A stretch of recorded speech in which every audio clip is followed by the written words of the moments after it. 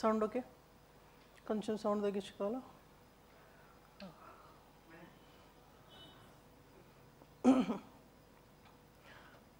Good afternoon, friends.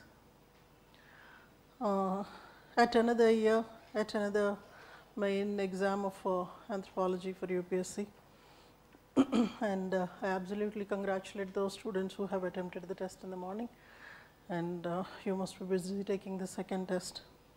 So, as such uh, based on the plan, uh, right now we are uh, going to talk about paper 1, a bit of analysis of how questions were asked etc. So that the students who are going to prepare for the next year, you will have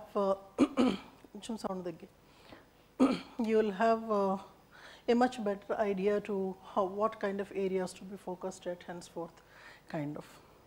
And uh, as uh, I generally make it a point to our students that uh, every year examiner tries to um, pick up a couple of questions that might be a surprise uh, for the student. And uh, just because two or three such questions are there which you might have not heard much about or you might not have heard it heard about it at all that doesn't uh, that that should not lead to a particular kind of an opinion or prejudice against the subject yeah i mean such kind of questions actually make you much more cautious um, in uh, making your preparation.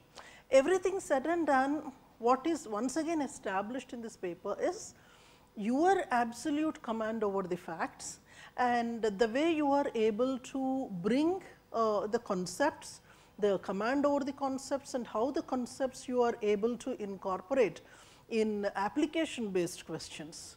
So, uh, only that person who is having this combination one of conceptual clarity, two the ability of translating those concepts to applications. This is the kind of a person who would be really doing good. And such kind of experimentation is uh, more or less being done in almost all the mm, in almost all the subjects I mean the way when we are looking at the other uh, optional subjects as well. okay Namma, no problem.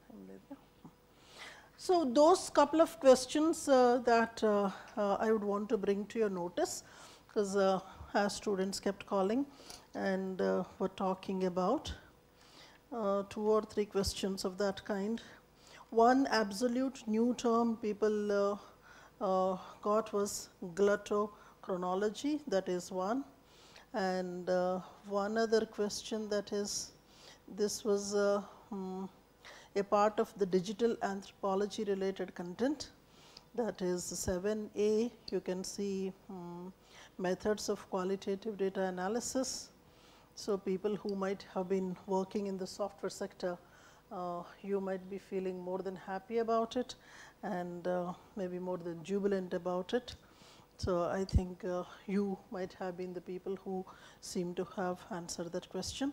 And the third question which was relatively a surprise, but otherwise looking at uh, various journals that were actually published in this year's uh, you know, the first half of the year, um, uh, Arjun Appadurai's contributions because he comes from an American Indian origin and uh, kind of contributions. I don't, I don't look at it as a surprise because quite a number of articles were published uh, on him. So, that was something that was a you know more or less expected thing, not really a surprise. So, basically altogether if you look at uh, the surprise element in the exam maybe 5C and uh, 7A. Now, to begin with uh, let me give you this help regarding uh, what are the other kinds of uh, uh, teasing things that UPSC had done with the students. About this also we had been telling many times uh, before in your regular classes also I was mentioning that is uh, if at all you are going with this uh, understanding that let me revise India related things or uh, paper 2 related things in the break and um, I mean that that will not do because there is a possibility that quite a lot of things from paper 2 might come in paper 1 and vice versa. So, it is from that point of view if we observe um, there are questions like you know uh, 2b is there a question related to Paleolithic environment with special reference to India and uh, India related uh, other questions. Uh, 4C major Mesolithic sites and typo-technological features with special reference to India. So, Mesolithic cultures of India, this is the second one. Third question which actually uh, is generally studied for paper 2 that is uh, prehistoric significance of Rakhigarhi, Rakhigarhi which was you know more or less there everywhere in the discussions of anthropology this year. Uh, three questions and uh, yeah of course Arjun Appadurai technically should come in paper 2, but uh, because of the content. So, we see that about uh, yeah uh, one more we have is 4a role of marriage regulations in traditional societies in India in strengthening social solidarity. So, basically here marriage regulations are with Indian examples you should be. As you could see five questions are there which uh, have that technical belongingness to paper 2 have been asked in paper 1. So, this way one should also be prepared and let me also look at this though it is uh, not very clearly uh, you know written as uh, Indian anthropology related question, but generally we study it in Indian anthropology that is 1D customary laws and uh, environmental conservation. So, that is generally we study as a part of political systems of the northeastern region and uh, that is also being asked in paper 1. So, about uh, 5 to 6 questions of paper 2 we see that they made their place in paper 1. So, that is the thing once again to sum up before I sorry before I go to discuss each one of the questions. Um, one uh, major thing which is repeated in this year's exam as well is somebody having an absolute command over the concepts and ability to apply to the requirement, those are the ones that seem to be doing really good and that is how UPSC's optional subjects, whatever may be the optional subject, have been taking the students towards. So, on that note, uh, let me take you to individual questions.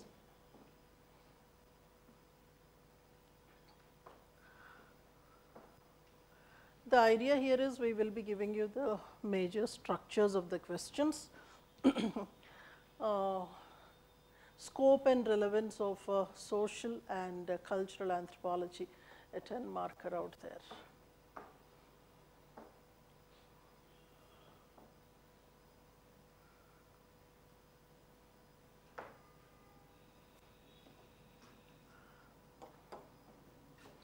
So, basically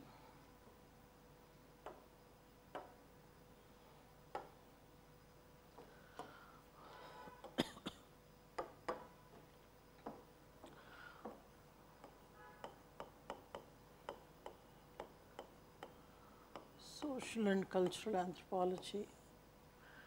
I would want you to begin with the discussion about the nomenclature, wherein sociocultural anthropology is a special terminology associated with Indian anthropology. On the other hand, elsewhere in the world, we see terminologies such as social anthropology and cultural anthropology distinctively. So, this discussion should form part of your first paragraph and the prominent thinker that you may perhaps incorporate is Paul Bohannan.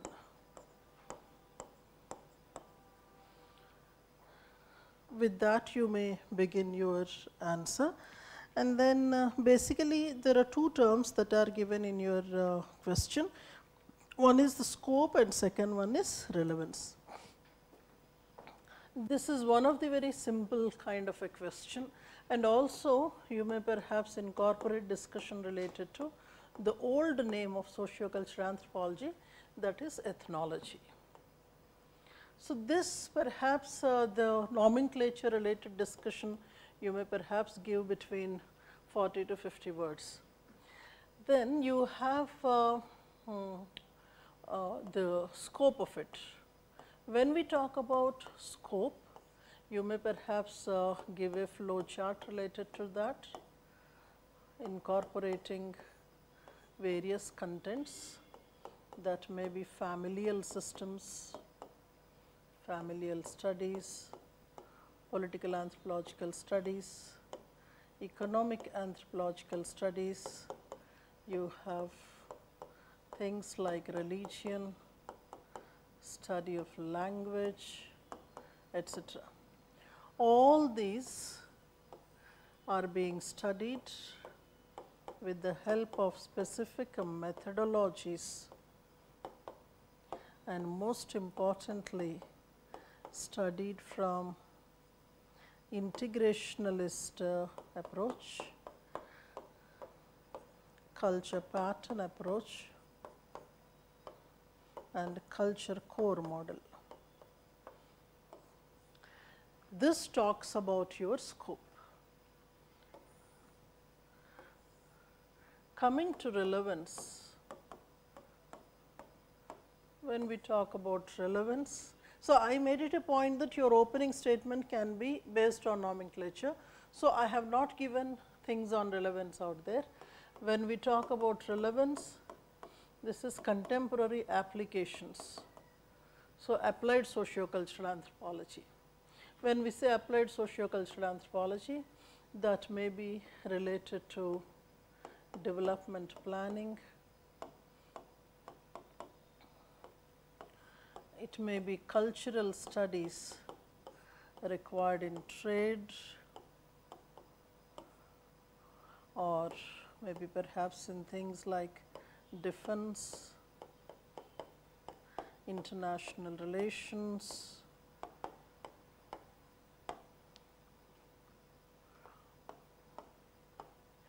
bringing new legal systems and also dealing with specific issues such as displacement, rehabilitation and not to forget in the contemporary times things like uh, UCC, rights movements such as so, that forms part of your applications.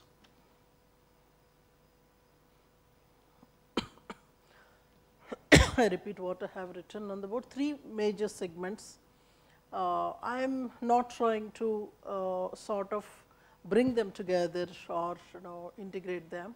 I am only trying to divide the thing into three specific areas this may not be the case with most of the questions, but in this particular case you spend good amount of time on emergence of that nomenclature. Scope, it is more or less writing the entire syllabus, but then you will have to add various methodologies and approaches to study. And then you have applied uh, socio-cultural anthropology with more contemporary kind of a relevance that may be planning, economic systems and trade, displacement, etc., etc. That is one.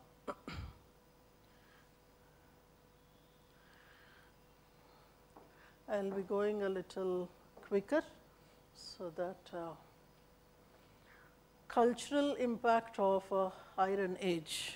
This is something which was written extensively by the contemporary anthropologist Rakesh Tiwari. He was trying to look at how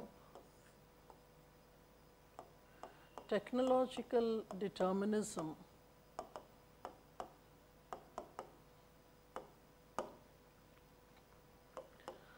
was affecting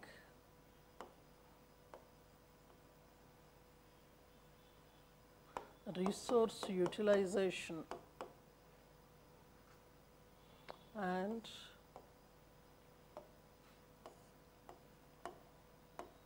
environmental exploitation, how technology was deciding economic subsistence, political power. These are the ones that you are going to elaborate on habitational sites,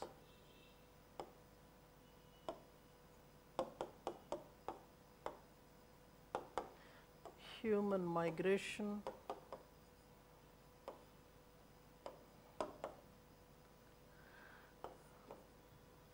when I say habitational sites, that may be emergence of more urban centers, economically intensified agriculture,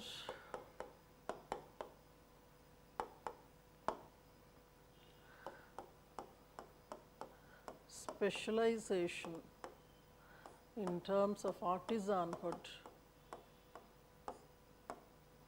weaponry, and that weaponry is connected to political power. Weapons, wars, long distance shipbuilding, etc., habitational sites, urbanization, and also we see more permanent agricultural settlements emerging.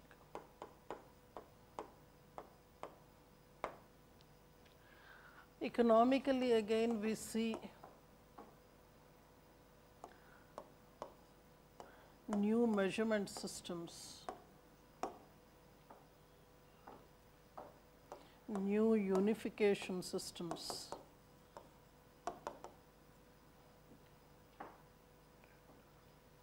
And that is where he speaks about a combination of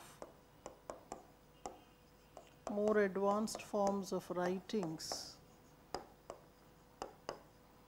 and metal cultures emerging.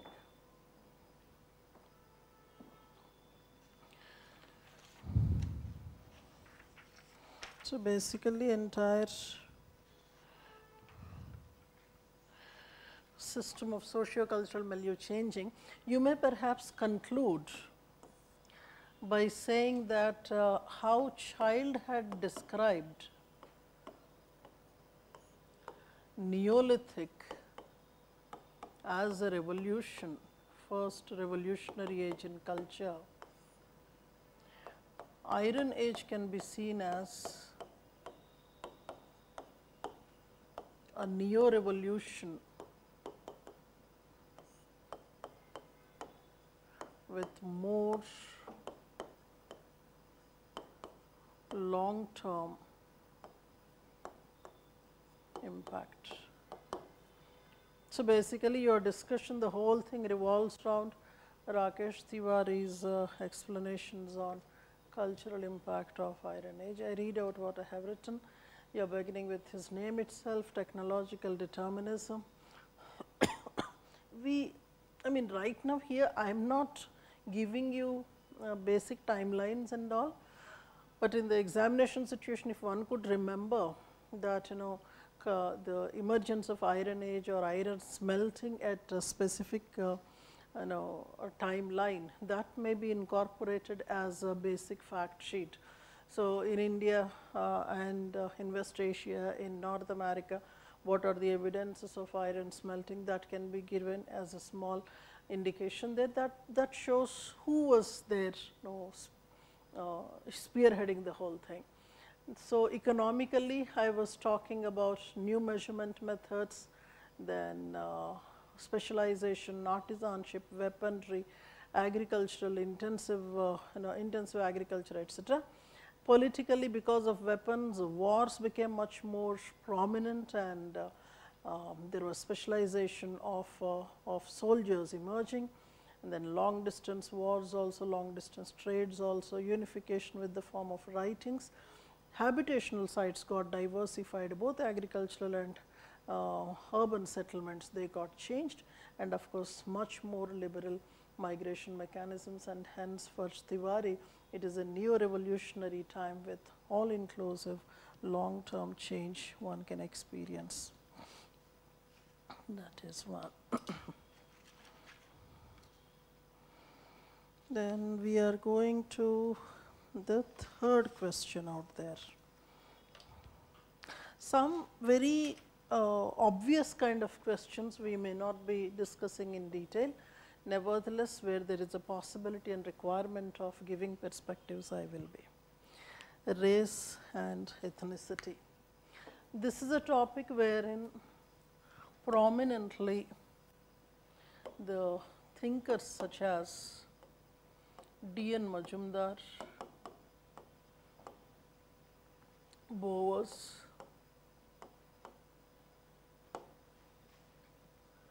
and Raymond Firth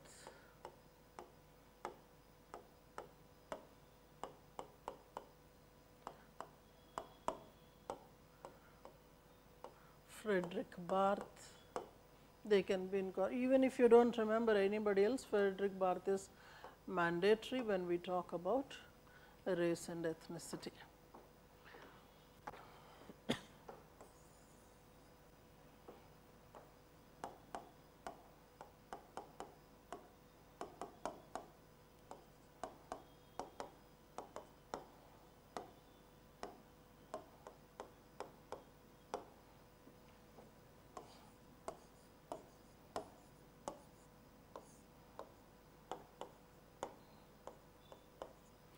There can be several ethnic boundaries or basis of ethnicity. One of them could be race. so, basically Barth was trying to narrate how race can be a powerful mechanism of bringing that togetherness under the title called ethnicity. That is the whole argument. So, you may perhaps begin with uh, Barth's idea of race and uh, ethnicity. This could be one way of beginning. And uh, it is also advised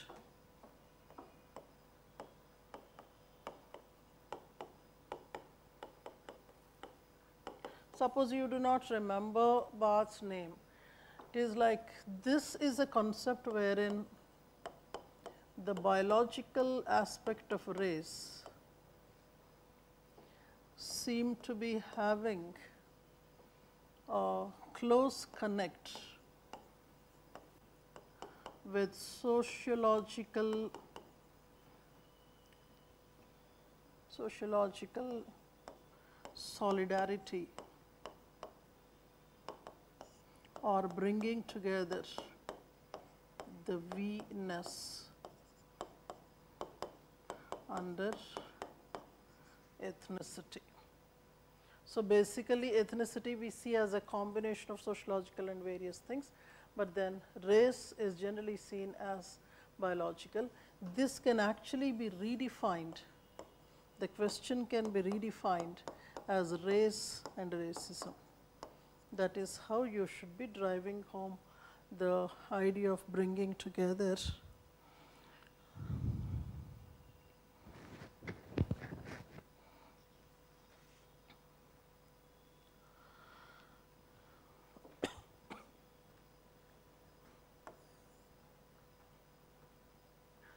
So, your discussion has to be race which is right now more or less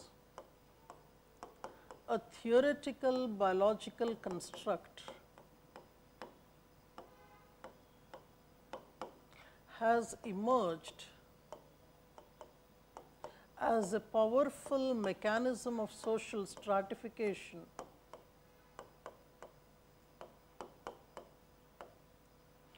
that is where you bring about ideas of Boas that is non-existence of pure races, but prevalence of the applications. And what you should be incorporating is why this particular topic is relevant right now and all the views of Boas which he had given are still relevant in today's times.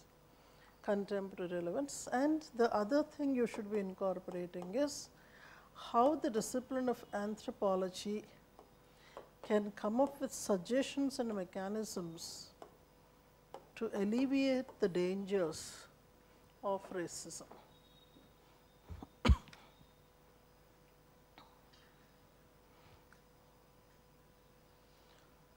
that is one. I repeat what I have mentioned there. We are actually talking about race and ethnicity, which can be modified as a discussion of race and racism.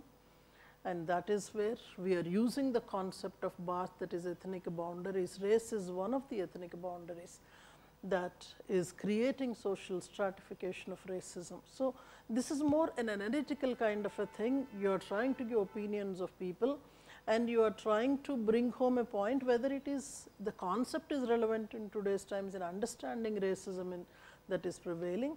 So, basically huge lot of studies we come across like apartheid studies of Africa or you know when we talk about caste and race in India.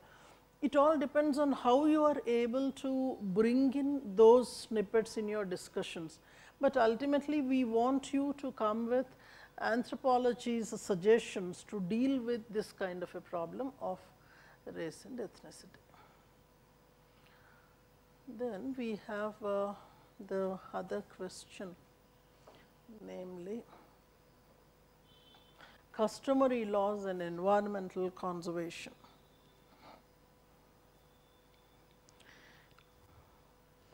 Basically, this is a combination of uh,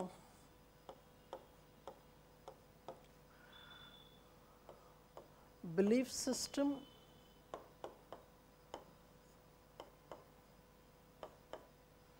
and uh,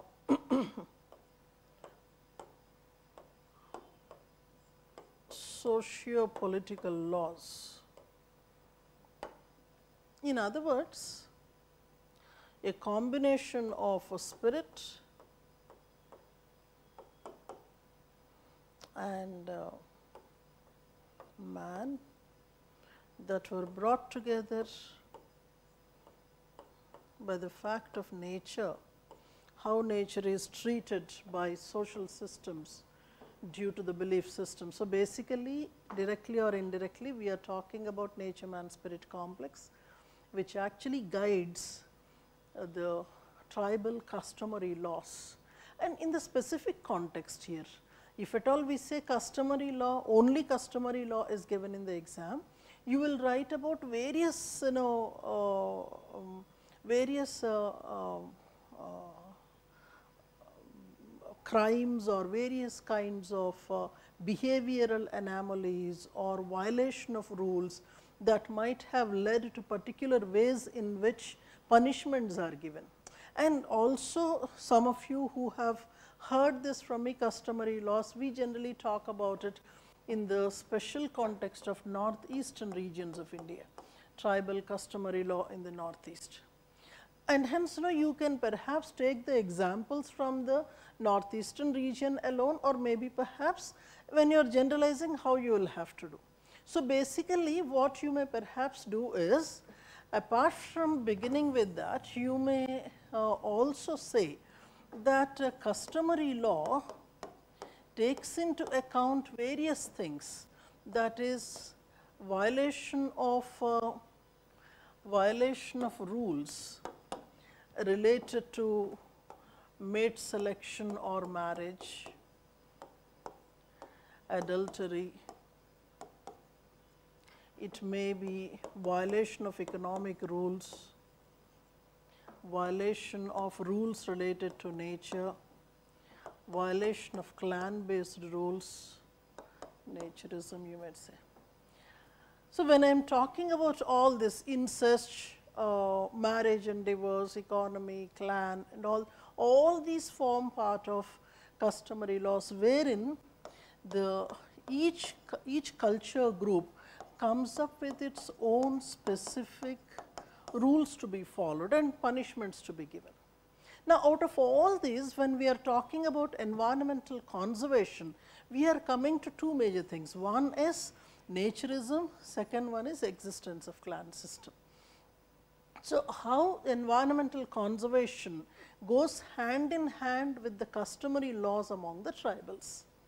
So, it is actually a topic that brings together totemism, clan identity and environmental conservation.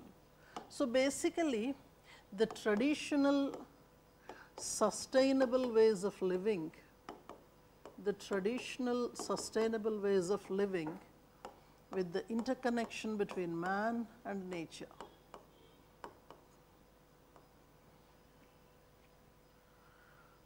I hope the question is clear. Your scope of answer is clan and naturism.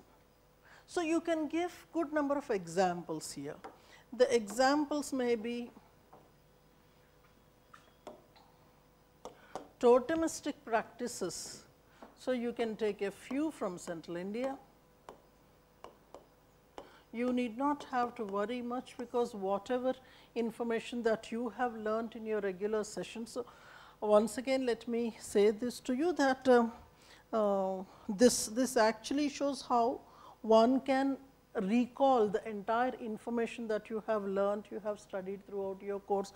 So, at that point of time those examples or understanding should, should you know uh, uh, come in, in the right moment. So, popular examples that you have are the Gond practices, Bhil practices and then when you go to the northeastern region the concepts such as sacred groves given by Dr. D. N. Majumdar. So, basically and then uh, you have the totemistic explanations given by Durkheim, how the clan and subclan is there, uh, how totemism ensures mutual protection of flora and fauna.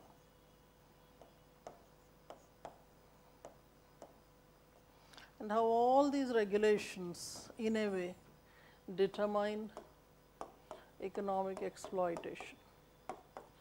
And not to forget, currently all these customary laws, especially related to environmental conservation, have come under the purview of forest laws. So, your answer has to bring in in the last paragraph what is the controversy between the tribal customary law and forest laws.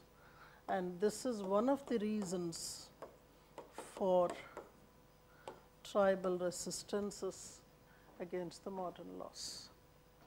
I hope that is clear.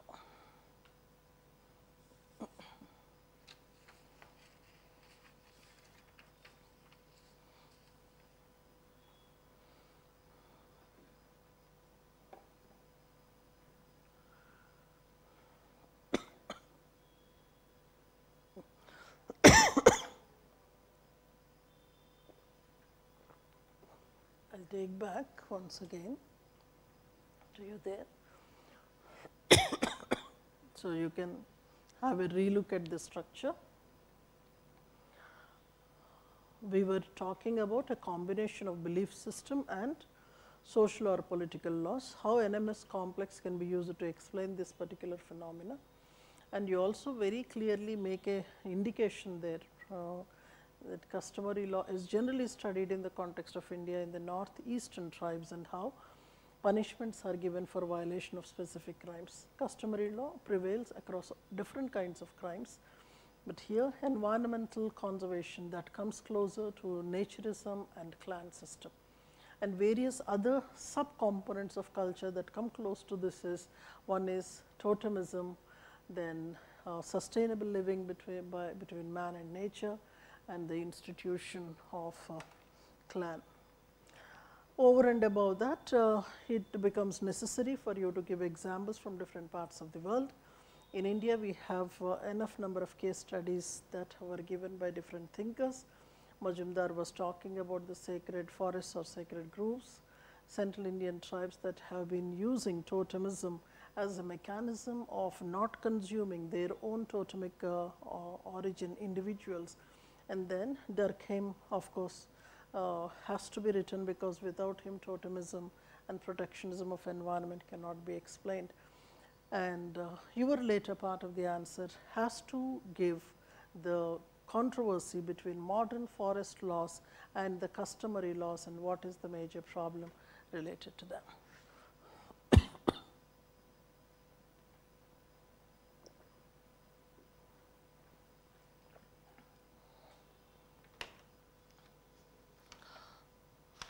and then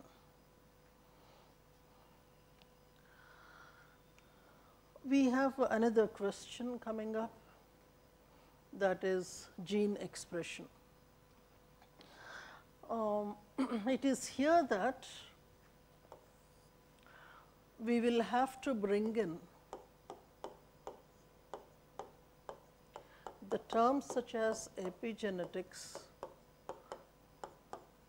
and anthropology or anthropogenetics.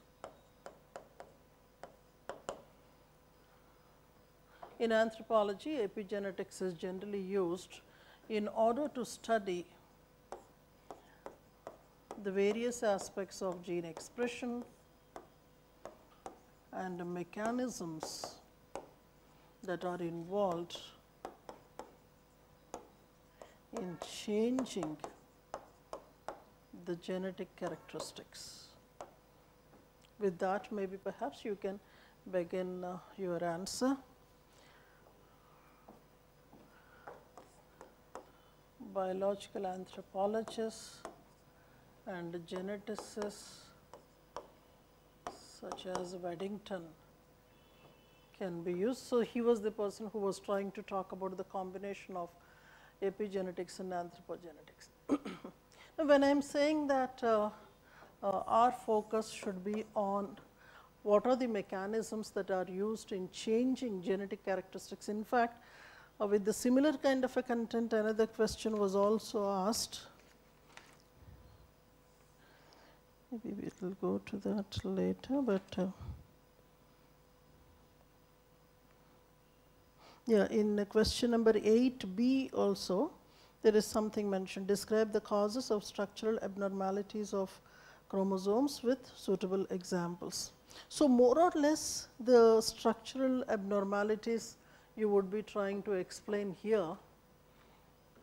So, enlisting them and trying to give single liners on them such as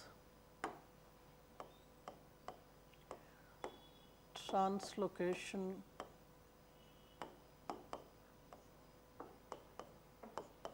duplication things like deletion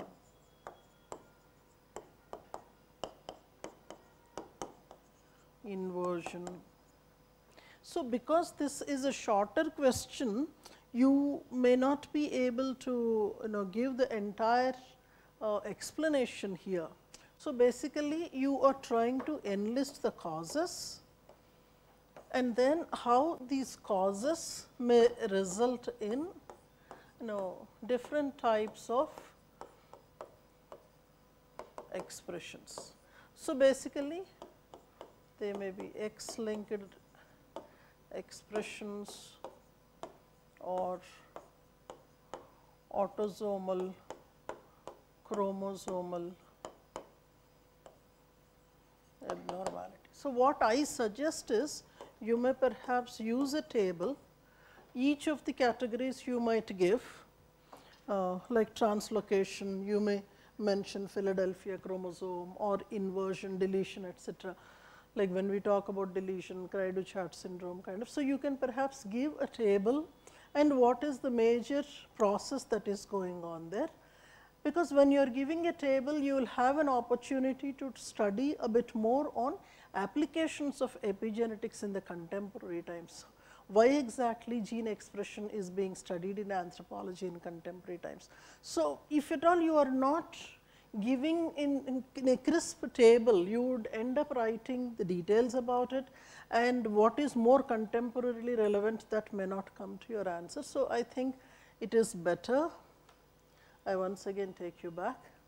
We are trying to incorporate uh, epigenetics versus anthropogenetics, which is actually the field which focuses more on gene expression, because gene expression is uh, an explanation about how, what are the mechanisms that are bringing change in the genetic characteristics.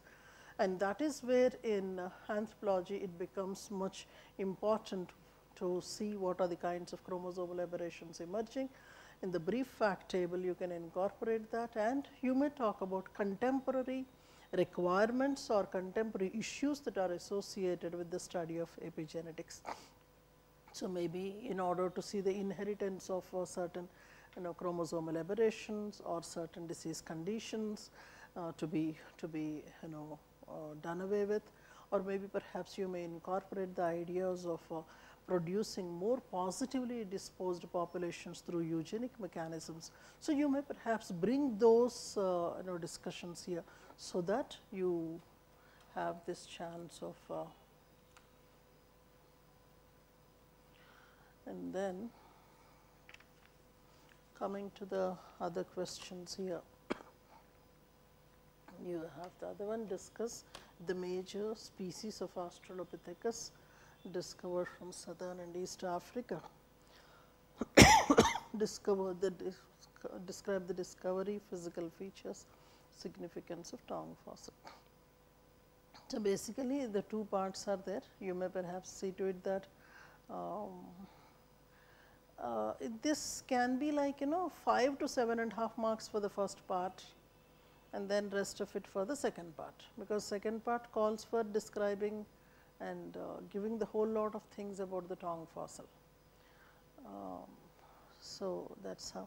So, in uh, the list of uh, important areas um, that was released just before your exam, uh, the questions that we were mentioning in the first question, first four questions were given and then uh, Australo was given, Paleolithic environment was given, nutritional nutritional anthropology I had given a modified question you can see in 2C that is different forms of malnutrition and describe the various protein, calorie, malnutritions etc. with examples. So, I had uh, used the term that is nutritional anthropology. So, let me also show certain other things.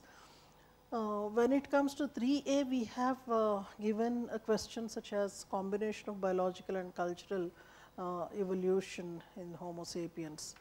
So, that uh, uh, instead of distinguishing biological and cultural evolution, he has used the common word that is hominization process, we will talk about it.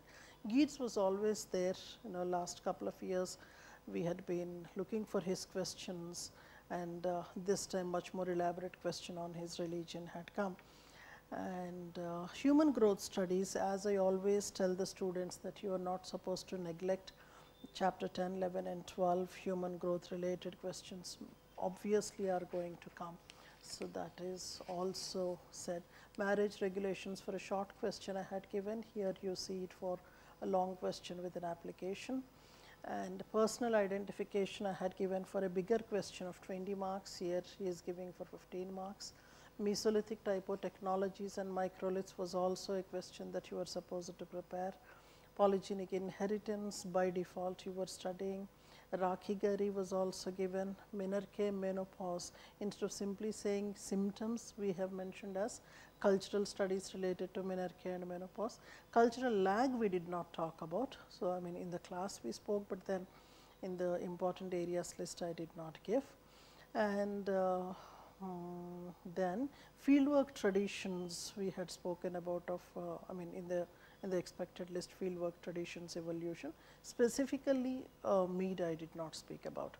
Globalization indigenous populations was there, practical applications of DNA technologies with the same title was given. 7a was a real experiment we had uh, spoken about it as digital anthropology.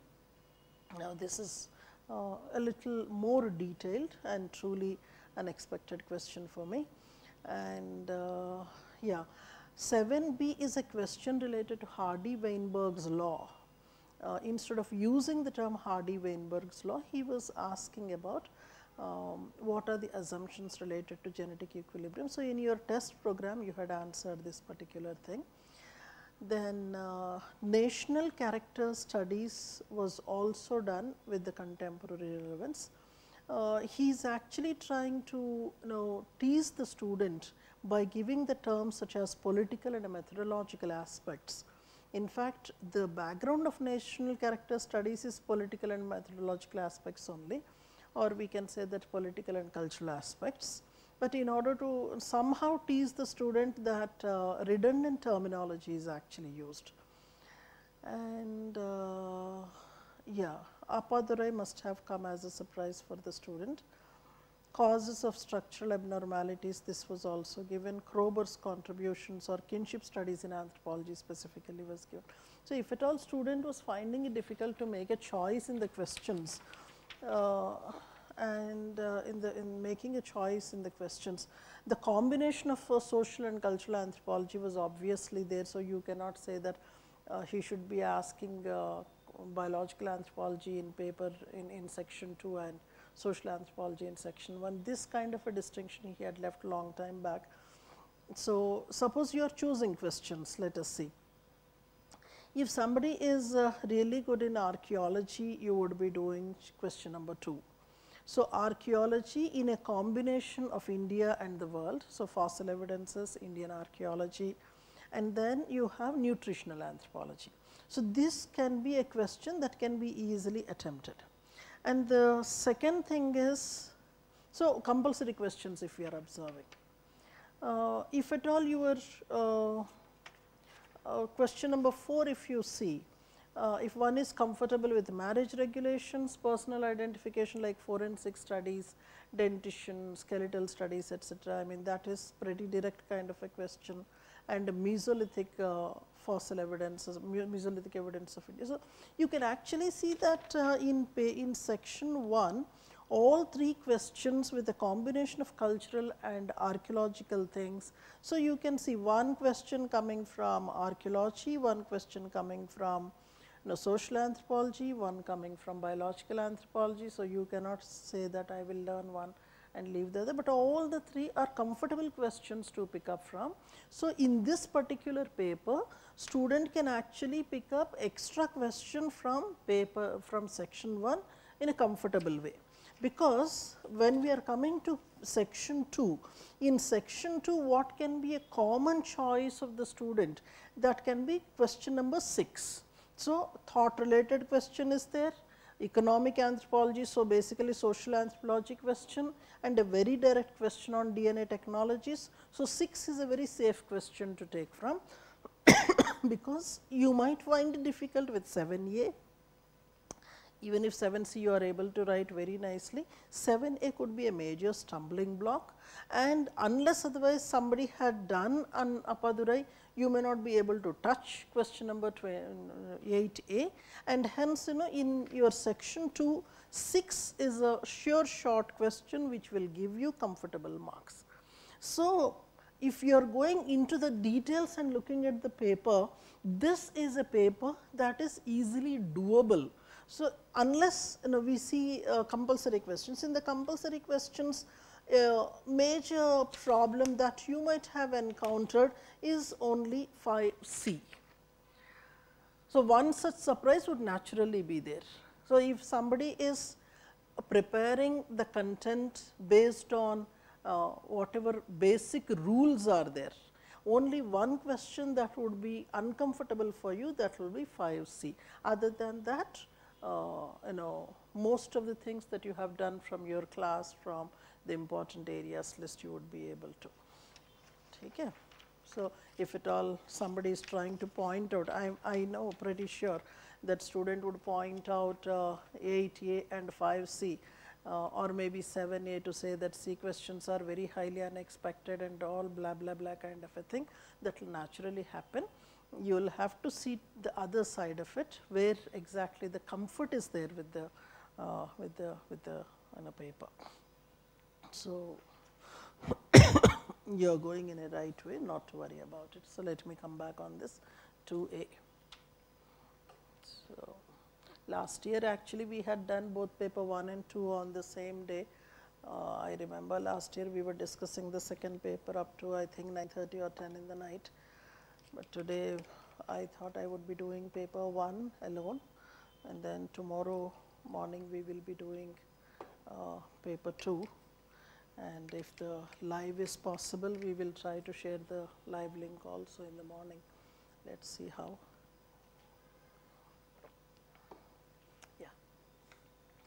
Let me come to the other question.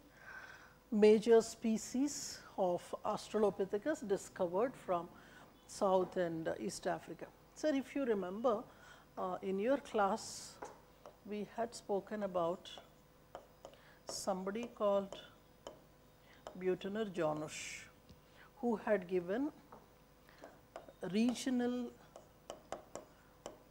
variants of Australo categorizing them into South African and East African Australo. So, the requirement here is that particular table with sites has to come.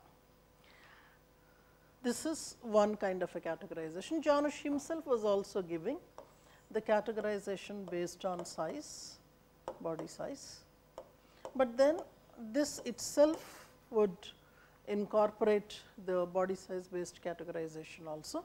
So, this solves the question of uh, the first part. After having given the table or in the introduction itself you may talk about the basic comparison of a South African Australo and uh, East African Australo. Whatever uh, basic arguments you have come across in terms of whether uh, South Africa is a, is a you know, gracile uh, Australo land and East Africa was uh, um, robust Australo land kind of controversies. So, chronologically we saw that kind of a division and later you would be making a mention that in the later times we found both gracile and robust Australo in both the regions and that is where uh, Buettner-Janusz tabulation of all those species would come into picture. So, a word about his and appreciation would do. And then the second part we are talking about is uh, a Taung fossil which is seen as a signature uh, uh, or, or uh, uh, the signature species of southern Africa and we also call it Australopithecus africanus. Um, and that is where you talk about the discovery in the sense that which site, what are the so with the Taung fossil the Taung fossil what was the fossil material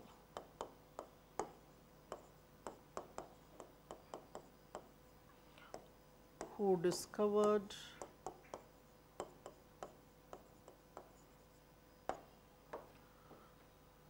and uh, listing of the physical features. So, you are already trained in that physical features like what are the cranial features, what are the post cranial features, and then when we talk about importance, importance in identifying the major missing link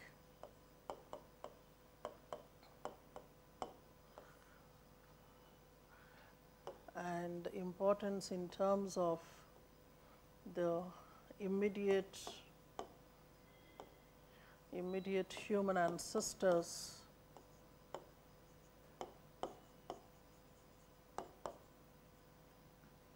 and also the debate related to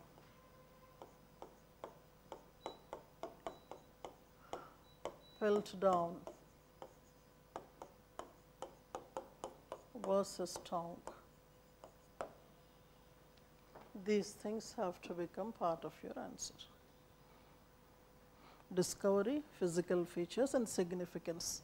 Significance because that is the one that laid very clearly the possibility of having Australo as one of the ancestral species of Homo sapiens.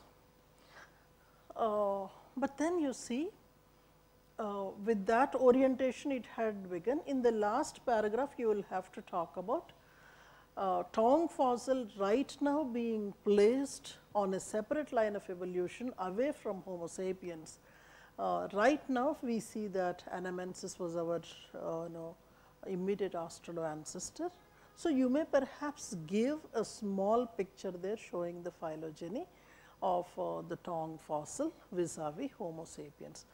Try to make it you know a very uh, comfortable one based on uh, the size of the question, because if it is 20 marker you would have enough of scope to draw a picture of uh, you know phylogeny that becomes an essential one. So, those of you who must have spent your midnight soil on learning archaeology, you must have seen the kind of variety of questions uh, that have come. So, let me once again look at the number of questions or the marks that are awarded for archaeology. So, if we are moving from first question, in the first question you have cultural impact of Iron Age that is archaeology question.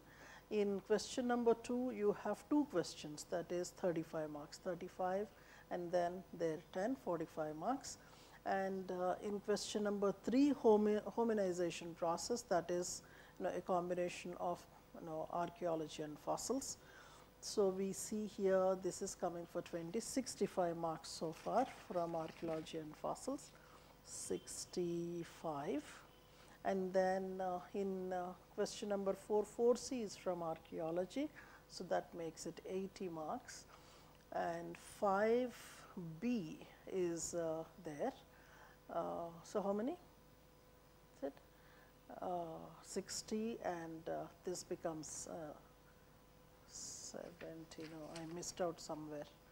We started with 10, 35, 45, 6, 45, 65, 65, this was 80 and uh, yeah, 5b becomes 90, then uh, 90 marks, 90 marks, yeah, 90 marks from your archaeology out of 250 marks. That is quite a good thing. Now, let me take you to the other questions.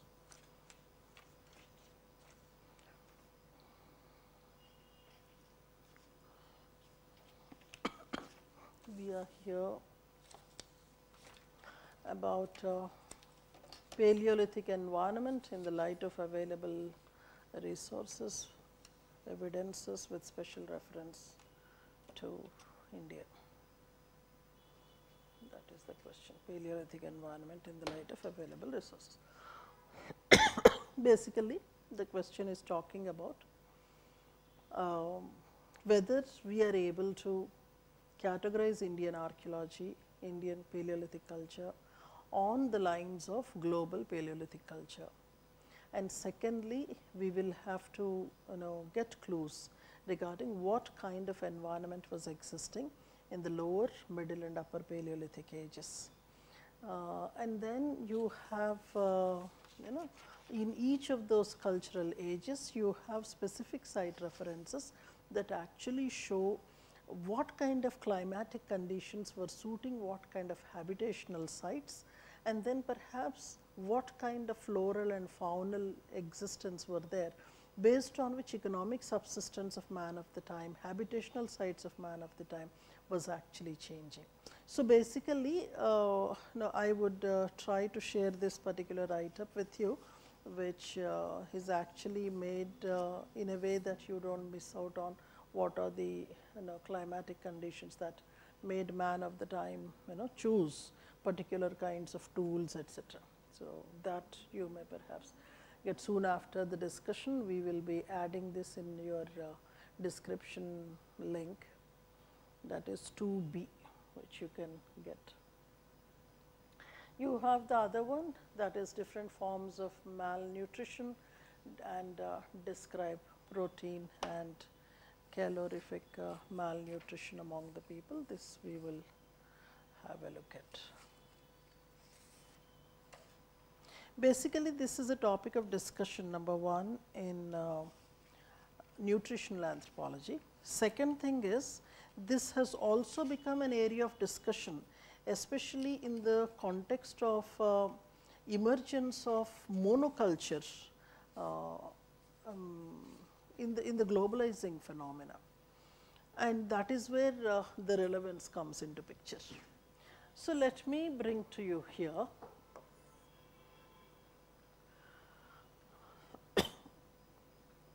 as a part of nutritional anthropology, the anthropologists were trying to look at two major things. One is development disorders which are elitistic. Second one is development disorders affecting development disorders affecting the poor and the disadvantaged. But both of them put together under malnutrition based conditions. And this kind of a categorization you may perhaps use the reference of Dhebar Commission that talked about Indian tribal health.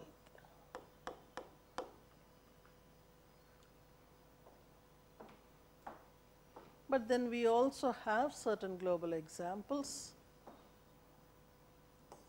study of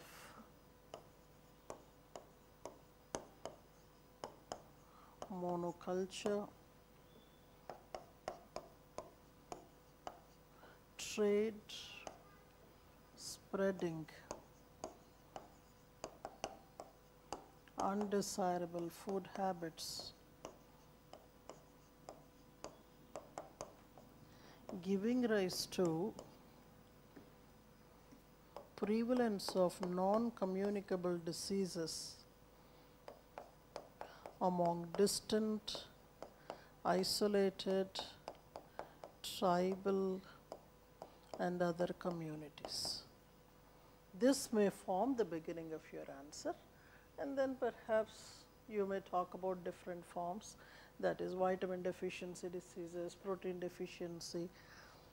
So, that, that may be a simple list of uh, uh, malnourishments you are writing your focus more has to be on the second part different protein calorie malnutrition deficiencies. So, basically you are trying to write there about uh, the specific conditions such as you know marasmus, kwashiorkor kind of things.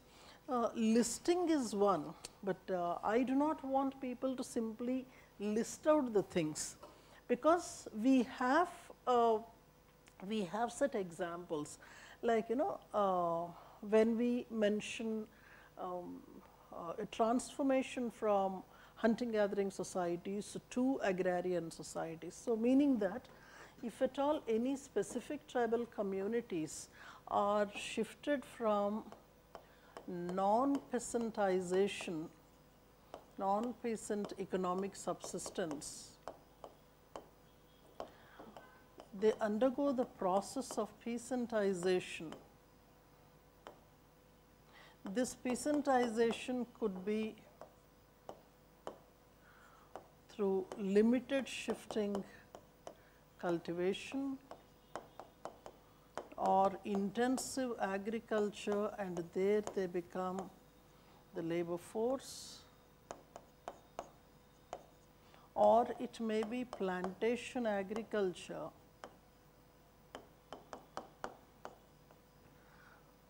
For each of them you may give the examples and talk about uh, the deficiencies. And uh, when you are giving the examples, you must make a point. One global example could be there, such as you know the Kung tribes. the Yanomamis. One Indian tribal example could be there.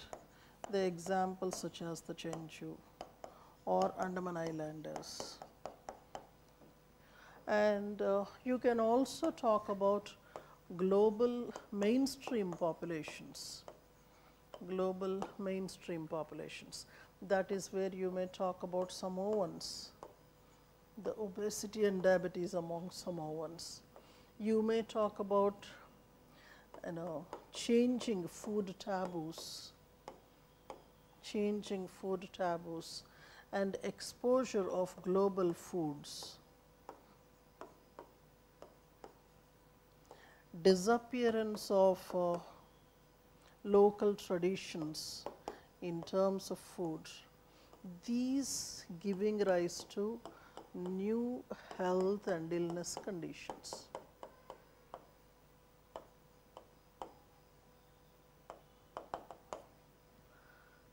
I think that can make your answer.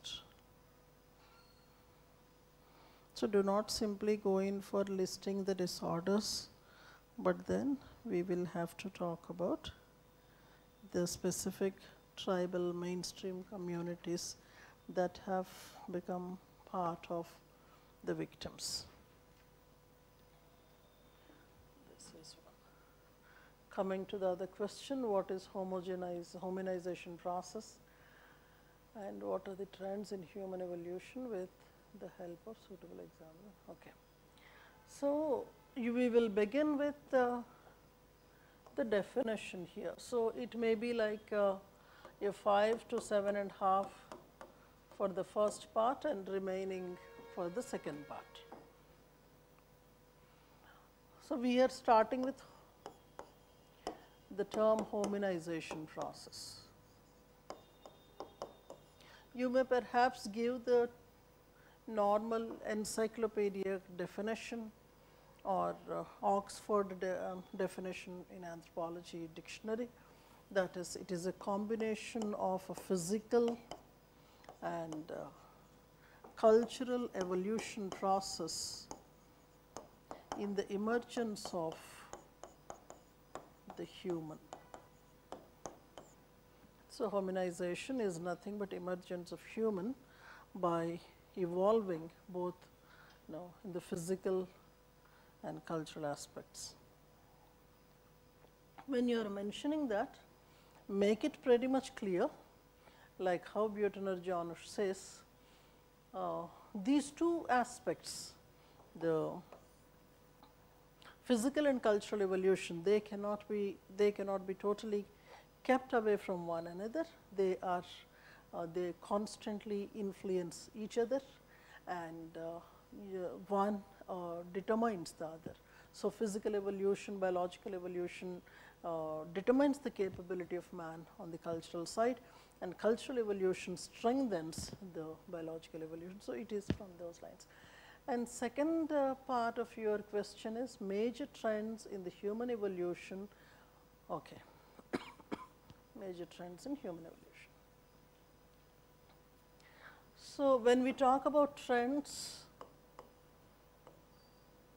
one is bipedalism and erect posture.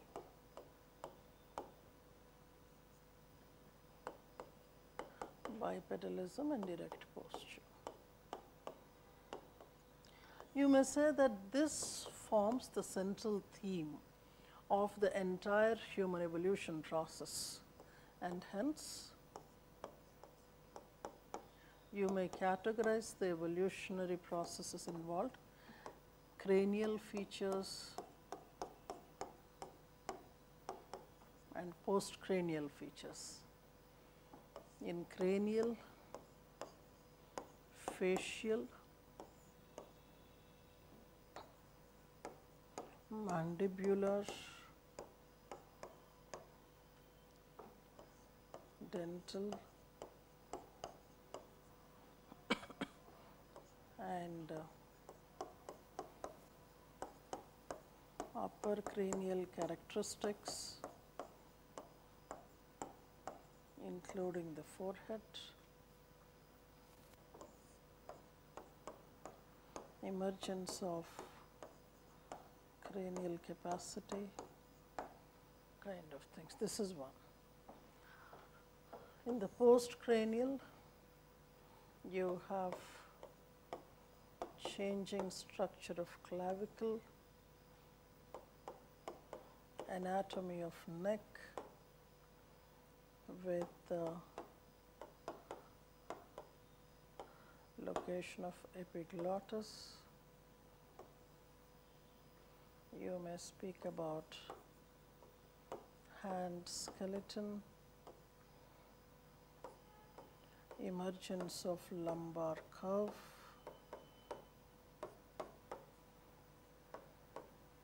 and thoracic bones.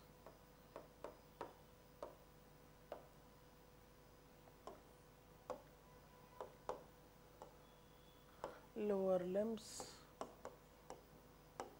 emergence of femur and other long bones.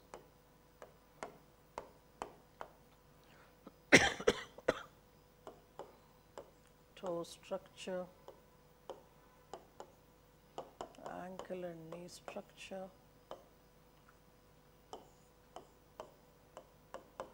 foot arches, all that forms part of, and then the requirement of giving pictures every place. So, all that makes this is coterminous with, this is coterminous with emergence of culture because tool making goes hand in hand with the prehensile thumb and articulative brain. This is number one.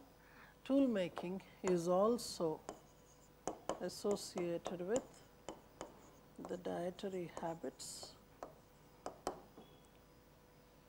and all this once again links to social system. So, basically wherever possible the examiner looks for having certain pictures so that you are trying to interconnect different uh, aspects of your content because there's huge amount of content that has to come into these answers.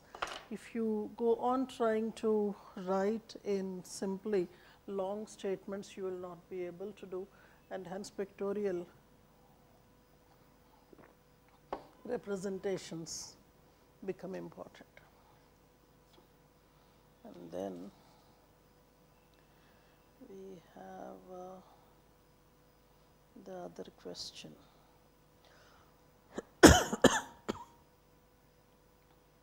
yeah.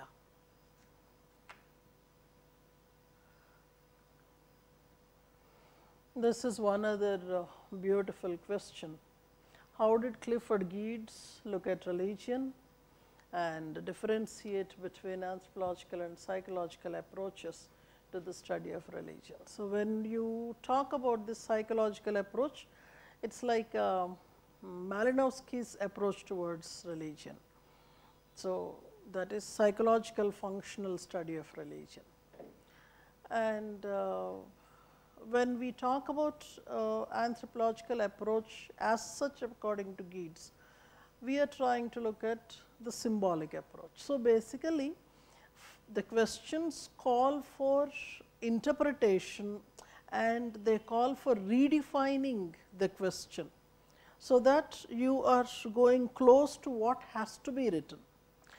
And also you see when we talk about Clifford Geertz, many people remember uh, remember cockfights and symbolism alone.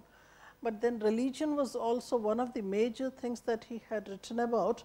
His initial writings uh, of uh, uh, you know symbolism might not have uh, incorporated a lot of uh, uh, writings on, on, on religion. But then in his later writings we see that he was writing on articles like you know approaches to study religion and uh, uh, you know, the concept of religious studies in anthropology kind of thing. So, you may perhaps begin with that that is uh, the later writings of Clifford Geertz focused on religion combining the idea of symbolism as well as uh, the thick description studies. Having said that, let us have a look at it. How did he look at religion?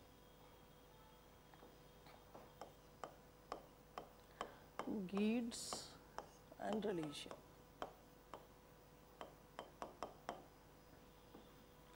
So, you may begin with his later interest. You may give the name of the article and book talking about religion. When he studied religion in combination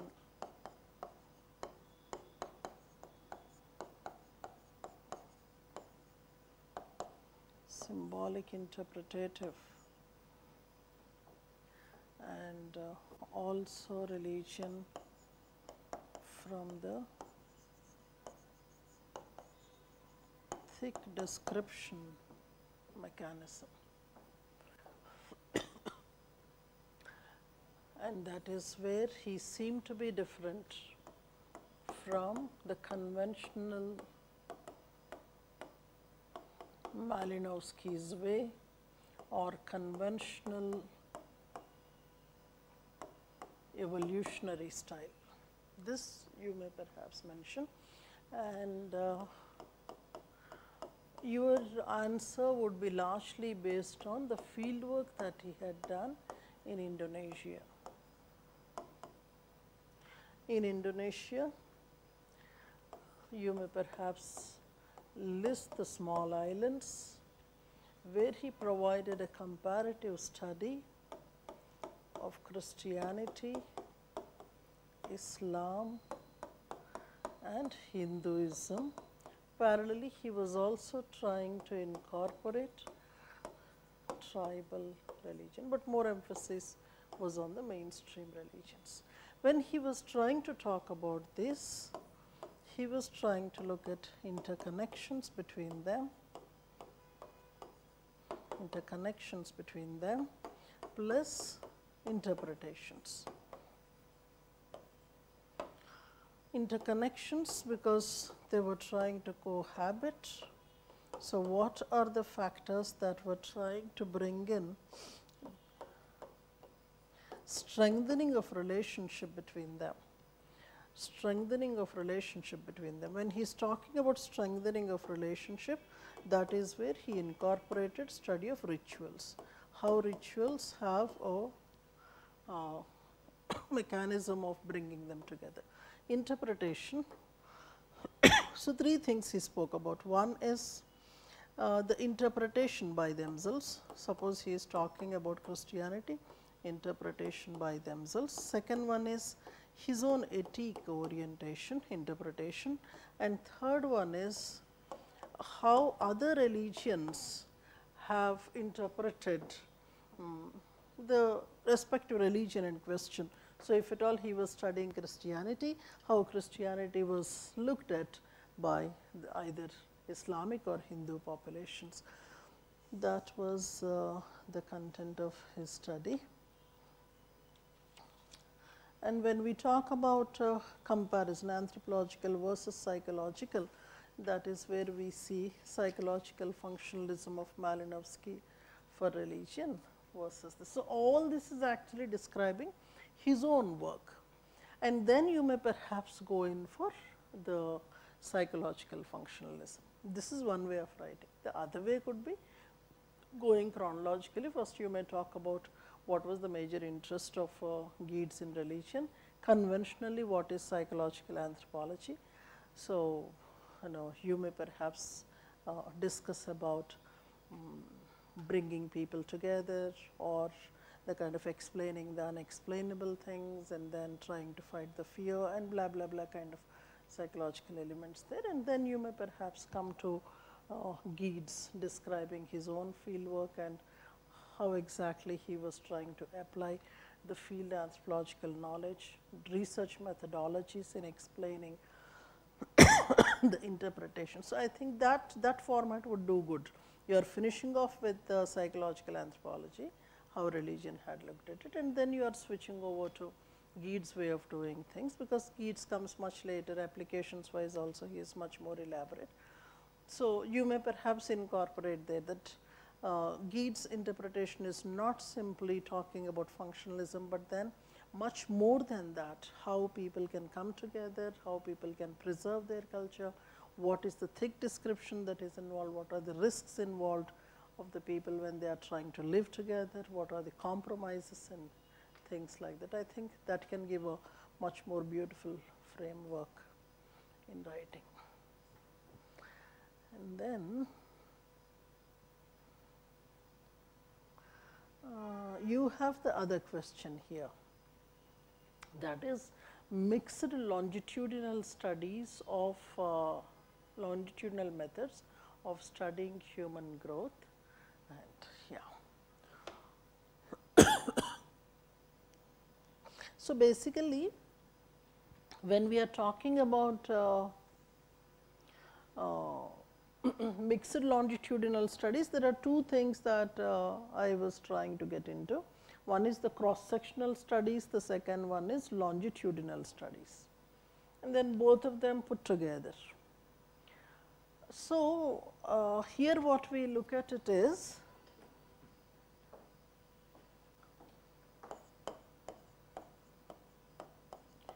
cross sectional studies and longitudinal studies. This is one about a single population. Secondly, a comparison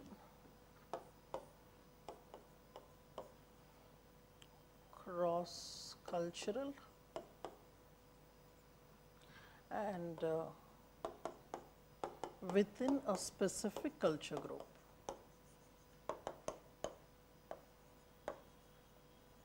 When we say this, we are actually referring to synchronic and diachronic studies. So, your answer has to be a combination of these two. When we talk about cross sectional studies, we are trying to mention um, measurements such as cranial measurements, or uh, you know circumference studies. Circumference studies such as you know hand circumferences or wrist circumference studies or study of waist etc. I mean this is one and then longitudinally we are talking about height attainment uh, and uh, length of bones kind of. So, basically we are trying to look at different anthropometric measurements. So, the question is about anthropometry and bringing it into human growth studies. There are certain anthropometric studies the that are measuring the cross sectional uh, growth that may be cranial studies, circumferences at different uh, places in the in the morphology and then longitudinal studies basically about height attainment and how the length of bones, length of thoracic region has been growing. So, these are all uh, we, we are trying to bring in different mechanisms of measurement and then perhaps the second one is a comparative study of the same population at same individuals at different points of time. So, that is where we are trying to bring in the growth tables for each population cross culturally. I mean that is where uh, anthropological studies became much more popular like you know Japanese and American or mainstream and tribal or plains and hill populations etc and at each one of them you may perhaps uh, talk about merits and demerits. Merits in the sense that um, see mm, basically the whole thing is to establish growth patterns of, uh, of children so that you have healthy population. So, these are monitoring mechanisms to see to it that a population with you know, proper health conditions. So, anthropometry brings us an explanation about the healthy or otherwise population. So, growth patterns can be monitored. On the other hand, it becomes an expensive thing, expensive in the sense that you need to have manpower, you need to have data to be generated and data to be monitored and analyzed.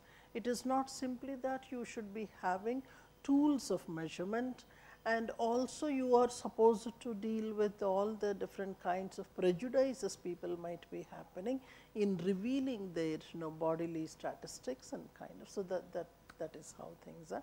But then technically when you are talking about uh, cross sectional and longitudinal measurement, I insist that you go with the uh, with the tools like you know what are the kinds of uh, bar scales that are used, horizontal scales, calipers that are used. So, kind of anthropometric tools become significant. so, basically you may perhaps refer to uh, you know, writings such as manuals related to anthropometry uh, that can help you out. so, that is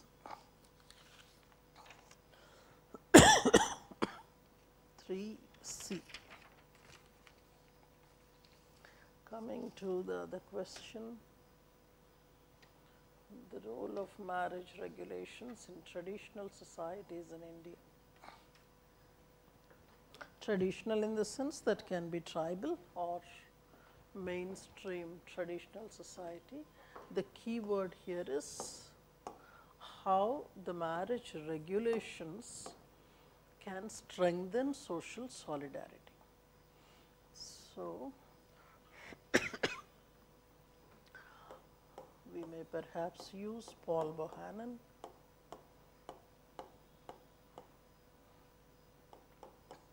or writers like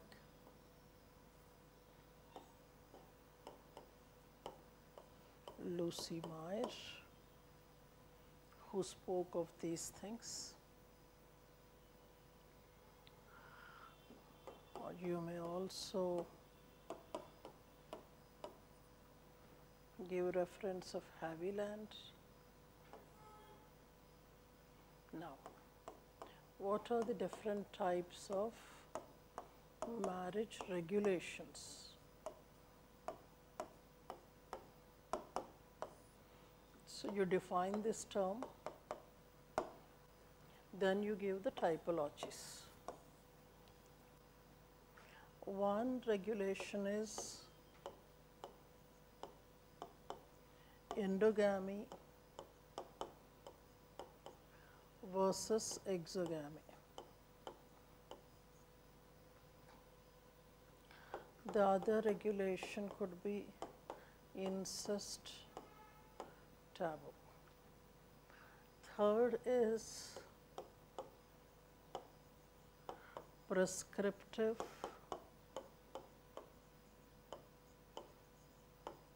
proscriptive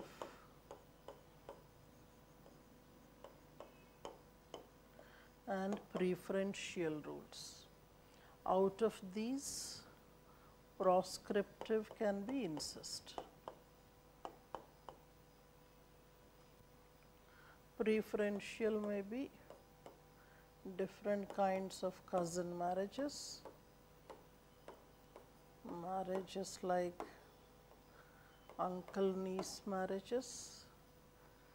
Prescriptive can be endogamy, exogamy. So, you may perhaps use this or you can give these kinds of. We are talking about India and how social solidarity. So, make it a point that all examples you should give from India alone.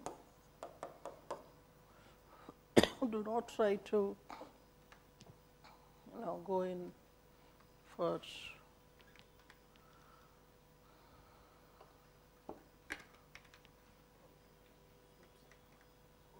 look at 10 minutes. I will break this.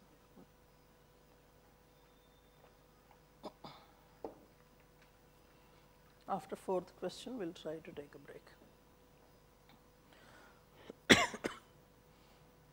so, basically when we are talking about social solidarity and you can go in for further detailing like you know caste endogamy, religion endogamy, region endogamy. I mean that is where from you are bringing the idea of social solidarity.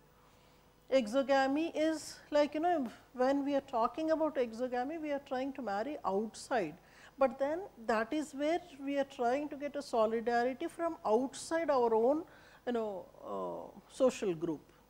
And then even when we are talking about incest related ones, we are trying to establish marital links with people outside your own in group. So, that is where bringing together of people is happening. So, it is not simply trying to talk about the examples, but at what levels the strengthening of we ness is coming in the society. That you should not forget. No? Coming to the other question, various methods of personal identification based on skeletal remains. Personal identification. So, basically you would be mentioning here that this is a field of study, content of study in forensic anthropology. Methods of personal identification based on skeletal remains. So, they may be facial study. So, basically we are trying to use osteology. See, uh, if he is not mentioning this skeletal remains, if he simply says personal identification, huge lot of things come into existence in your answer. Apart from this, you have dental studies, you have blood group studies and you also have dermatoglyphics. So, this is for the comprehensive question, but in this question he is not asking all this, he is very much specific that it is a question on skeletal. So, facial bones, facial osteology, then skull related or and then you have post cranial aspects of personal identification.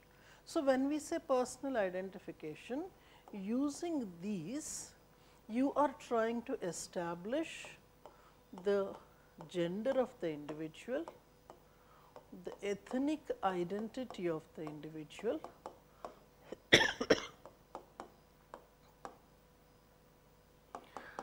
and then perhaps you are using these either to confirm the missing persons or you are trying to establish the identity of the criminal or maybe perhaps you are trying to establish the victim's identification. So, your answer is actually talking about which are the tools and where is the purpose. So, gender, ethnic identity, age of the individual that is affected. And uh, also you are trying to establish the facts such as if at all you are mentioning death of the individual the study should actually confirm finally the reasons for death, but most of the time your answer lies here. And hence, let me take the answer further. Most of the discussion of your answer lies in skeleton and uh, how exactly you are able to confirm the age of the individual. So, uh, from the bone studies you are able to uh, confirm whether that is an infant or a child or an adult. So, that is where you know, if at all you are speaking about the skull bones based on the fusing of the skull plates, you will come to a conclusion whether that is the individual is less than you know 12 years, less than 25 years or it is the person about 25 years that is one. When we talk about gender, we are especially looking at uh, the, the texture of uh, the, the facial bones and the shape of the skull and also most importantly the kind of uh, pelvic structure that gives the identification of the gender.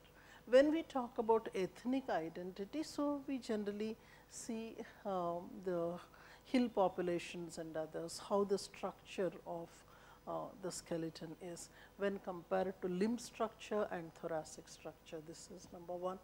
Second could be you know ethnic identity like negroid, caucasoid, mongoloid etc. So, here in this particular question there are some kind of pictures that become mandatory for you. Those pictures one is the pelvic structure number 1. Second one is three different kind of skulls become mandatory for you in order to indicate the caucasoids, mongoloids and then negroid.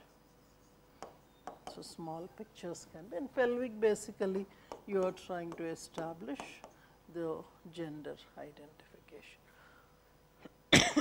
So, I think uh, that can give you a decent uh, uh, kind of an answer.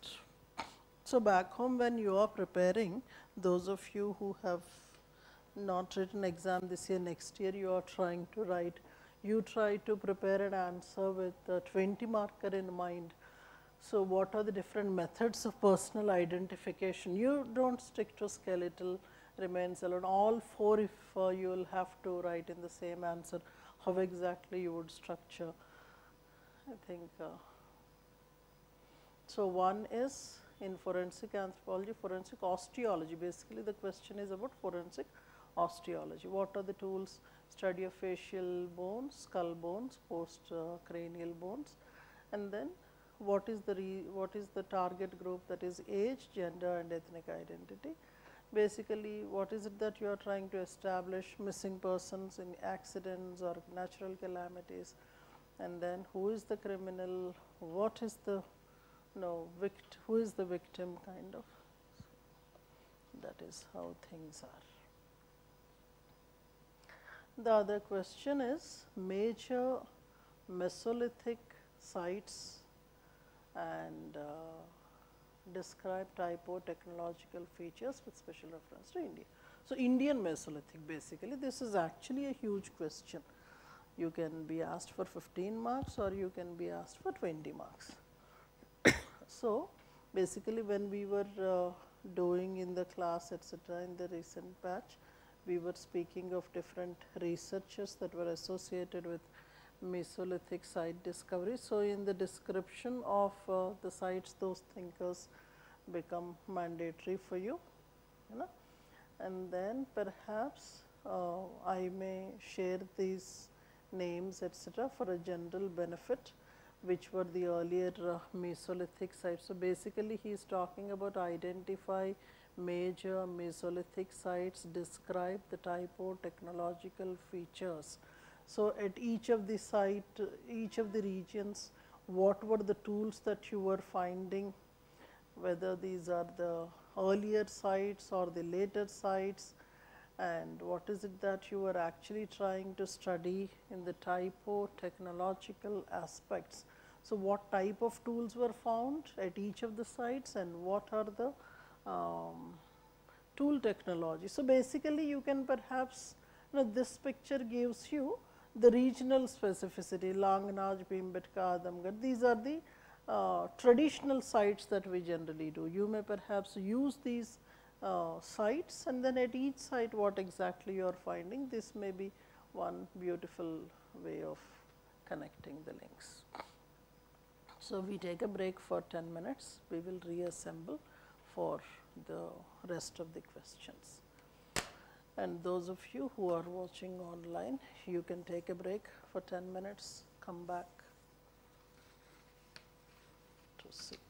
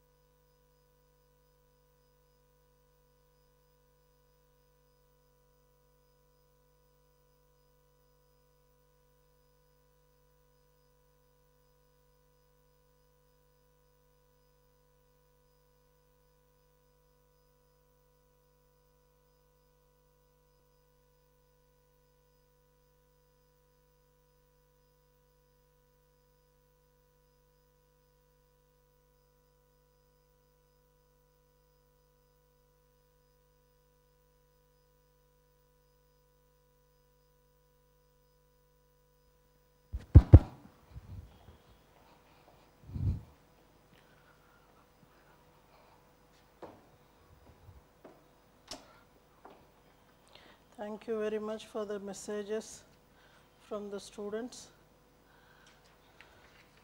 who were writing the exam. People were pretty much happy, contented with uh, what we had done in the classes. so let us look at some of uh, the other things. These are all direct questions, sir. Polygenic inheritance. This was one. Very recently also we were discussing about this prehistoric significance of uh, Rakhigarhi. so that is where uh, we see a complete overhauling of Indian archaeology.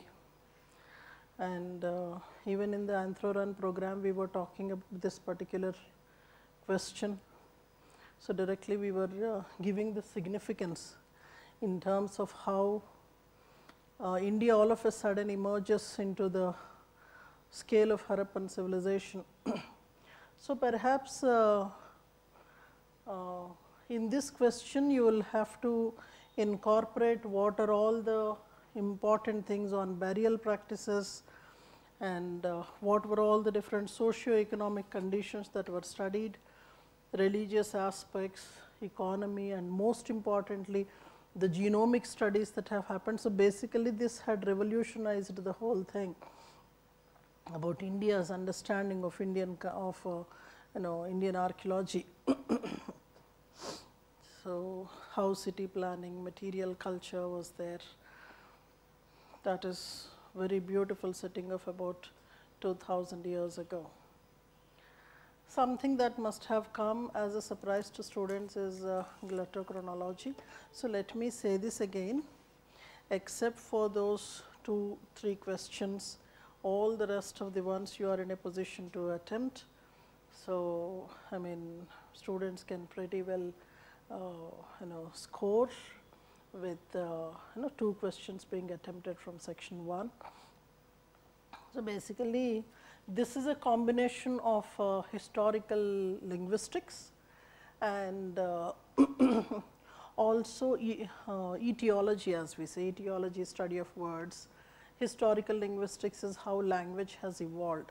And uh, glottochronology is also something like you know cross cultural uh, impact of uh, on language. See those of you who have uh, studied social context of language use and uh, how the emergence of uh, short term languages and ad hoc languages must have emerged in Africa, parts of Indonesia, etc. That is where glottochronology comes into existence.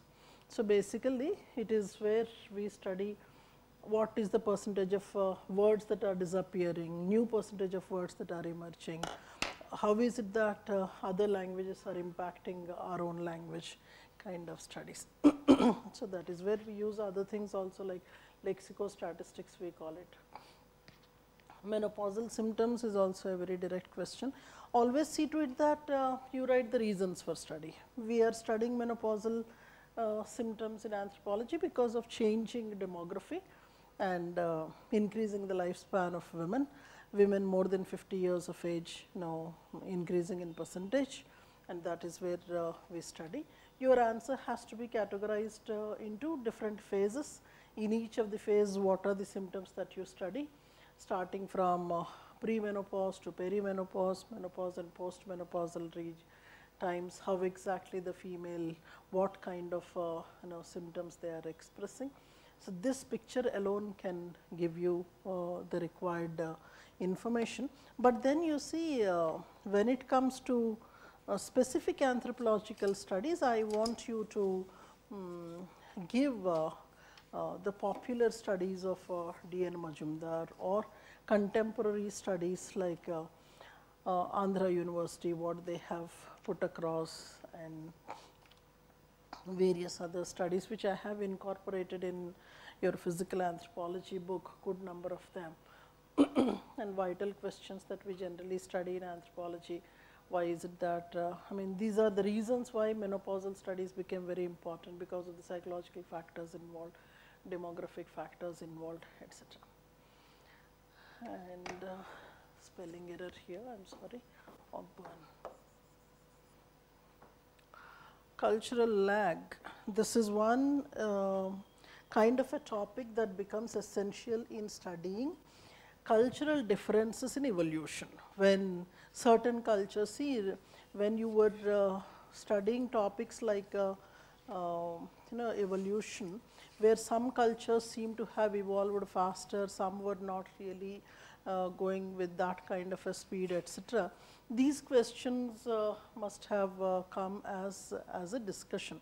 So, basically when uh, Ogburn was explaining, see what might happen is you might not be knowing Ogburn some of you and uh, you might have come across this term cultural lag. So, even if you did not know uh, the you know what exactly William Ogburn was talking about in cultural lag that you need not worry about. Simply about cultural lag also one can write, meaning what are the reasons for certain cultures must have evolved faster and certain cultures could not evolve fast. So, the reasons could be technological reasons or maybe perhaps sociological reasons are there. Um, politically, you know, how uh, the protectionism had encouraged people to evolve faster.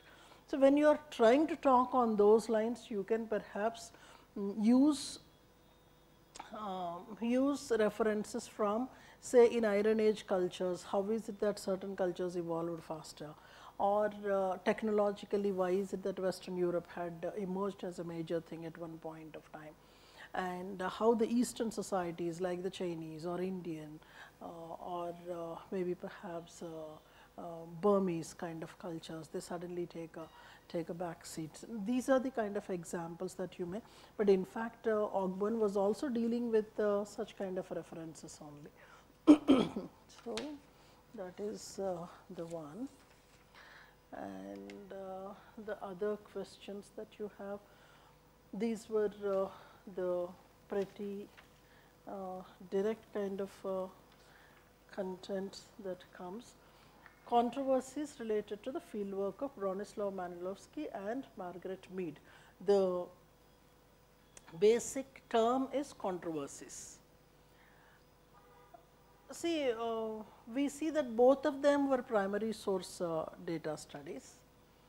Malinowski was was more relying on EMIC, so he was like realistic ethnograph. Mead was also more or less realistic ethnographer. She was taking from the field whatever data was given to her unquestioningly. Uh, so, that is where you see parallels so, your answer must talk about largely in the introductory paragraph, you may talk about, see both of them were looking at pure realistic and EMIC kind of a data with further detailing being different. On the one hand, uh, she was depending on a limited sample and Malinowski was depending on informers, but both of them have got their own strengths and weaknesses. And it is from that point of view, what are the dangers that are involved in realistic ethnograph, that is one.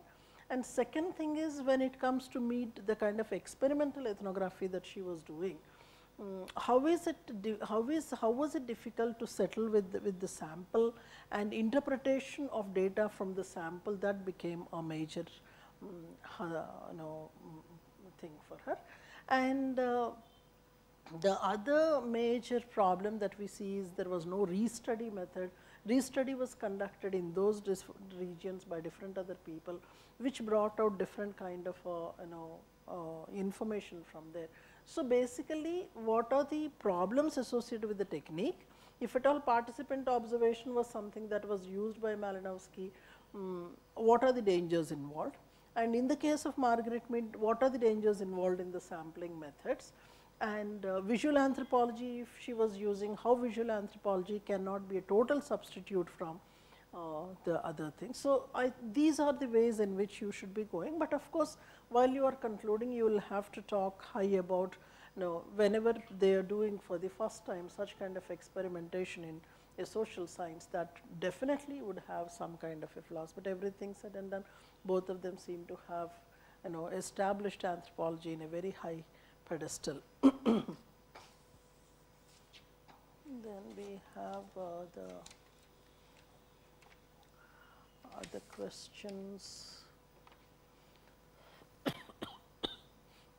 impact of globalization on economic systems of indigenous.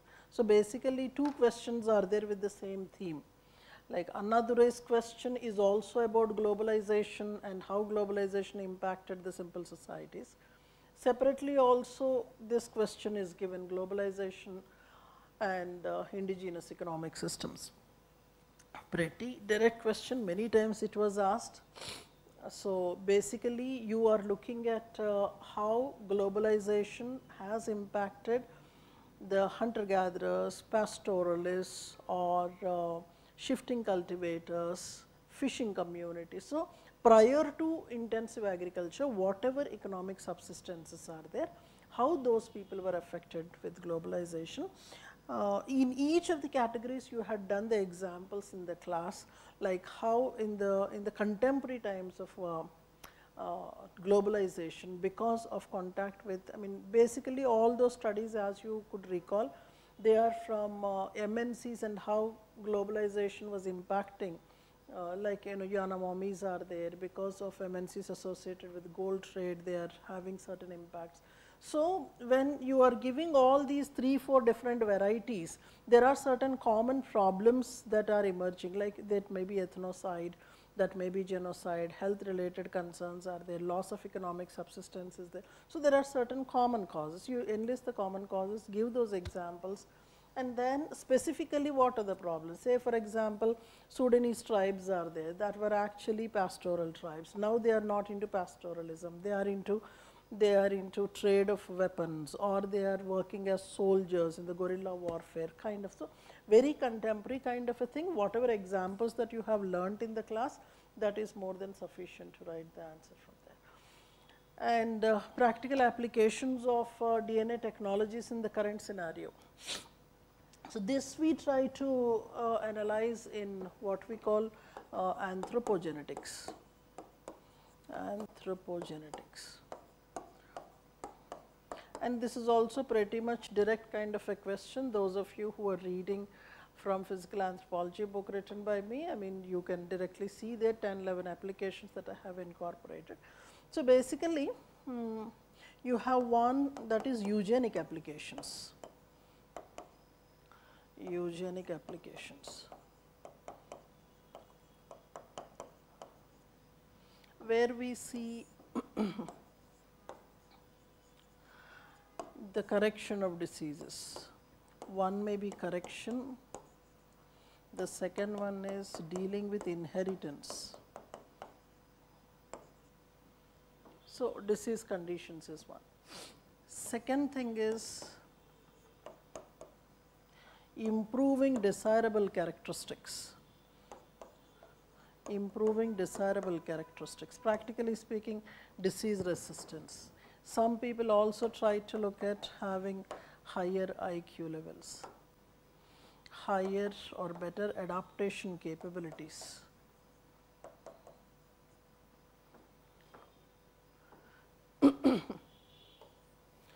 DNA technologies now is also used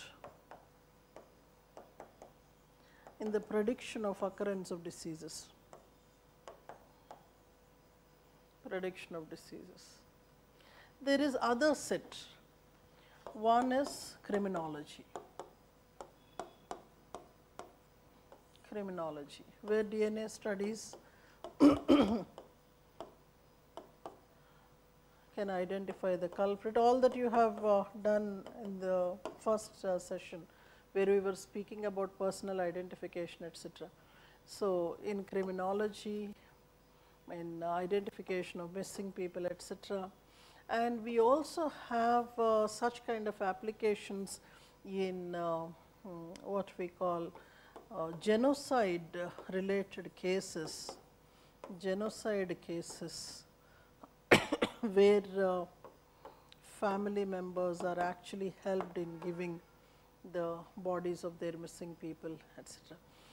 This is one. I mean, when the question looks to be see practical applications of DNA technology in the in current scenario, he does not specifically mention human, but then if it is a question in general studies, you would write about the whole lot of things like you know agricultural uh, utilities and then industrial applications and all that. But here when we talk about within anthropology, though he is not mentioning specifically, we try to restrict ourselves to the uh, human resource, human, researchers in uh, DNA technology and that is where we can also talk about things like cloning,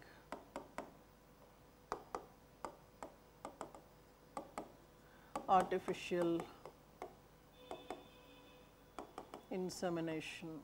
So, basically when I am talking about this, I am giving those categories of uh, eugenics like you know positive eugenics and negative eugenics where uh, you are trying to use the DNA technologies in in conducting research on uh, on the to be born children. Twin studies are there, amniocentesis studies you will do and identifying the, the health conditions, the growth patterns of children Uh, through, through the prenatal studies etc.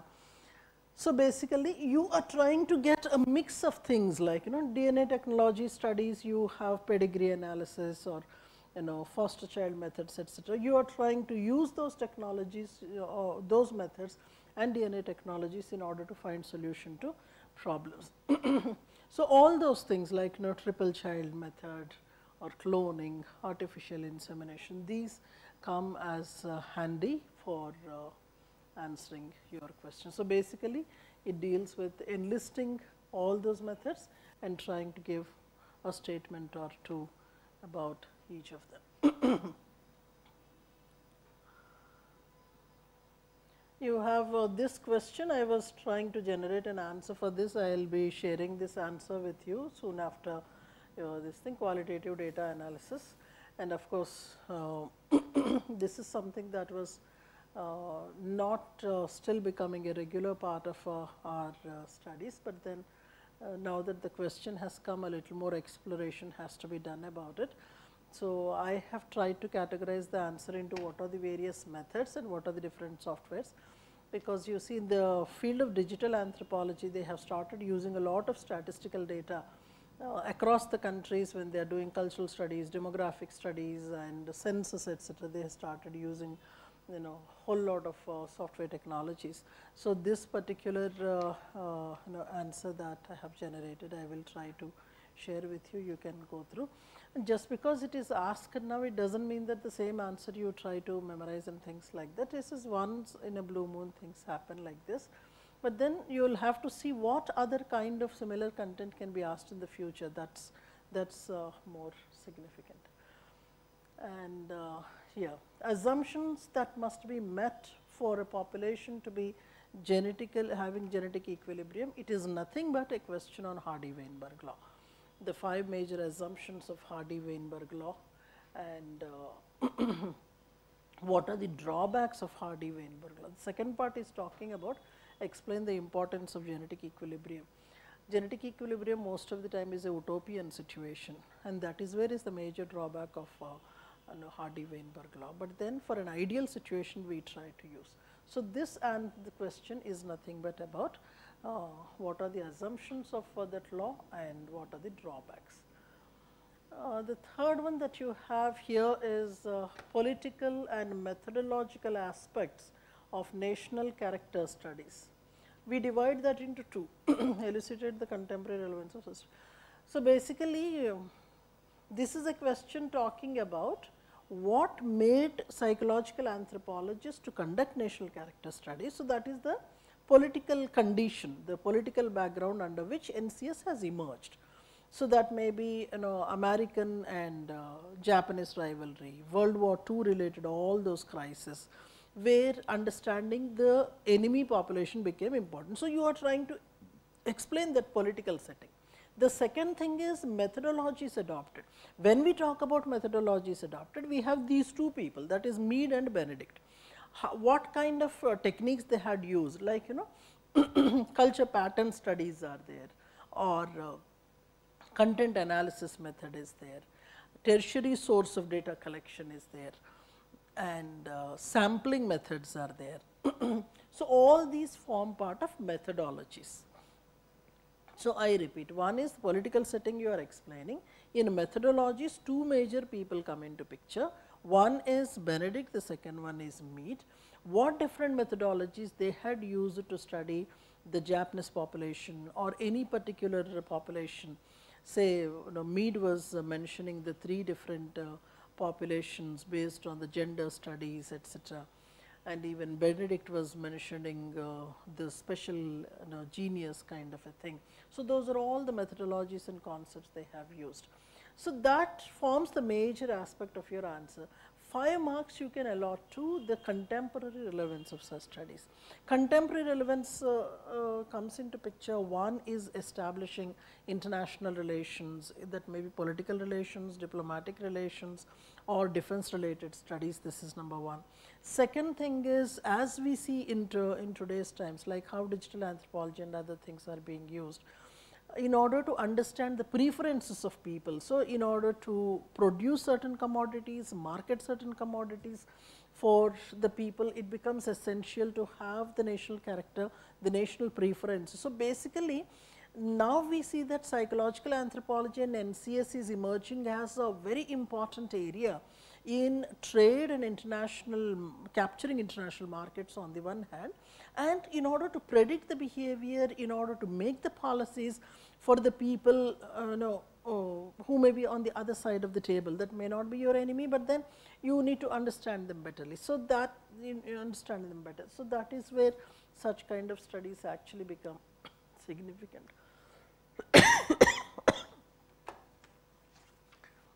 then you have 8a, this is uh, Arjun Appadurai's conceptualization of global cultural economy.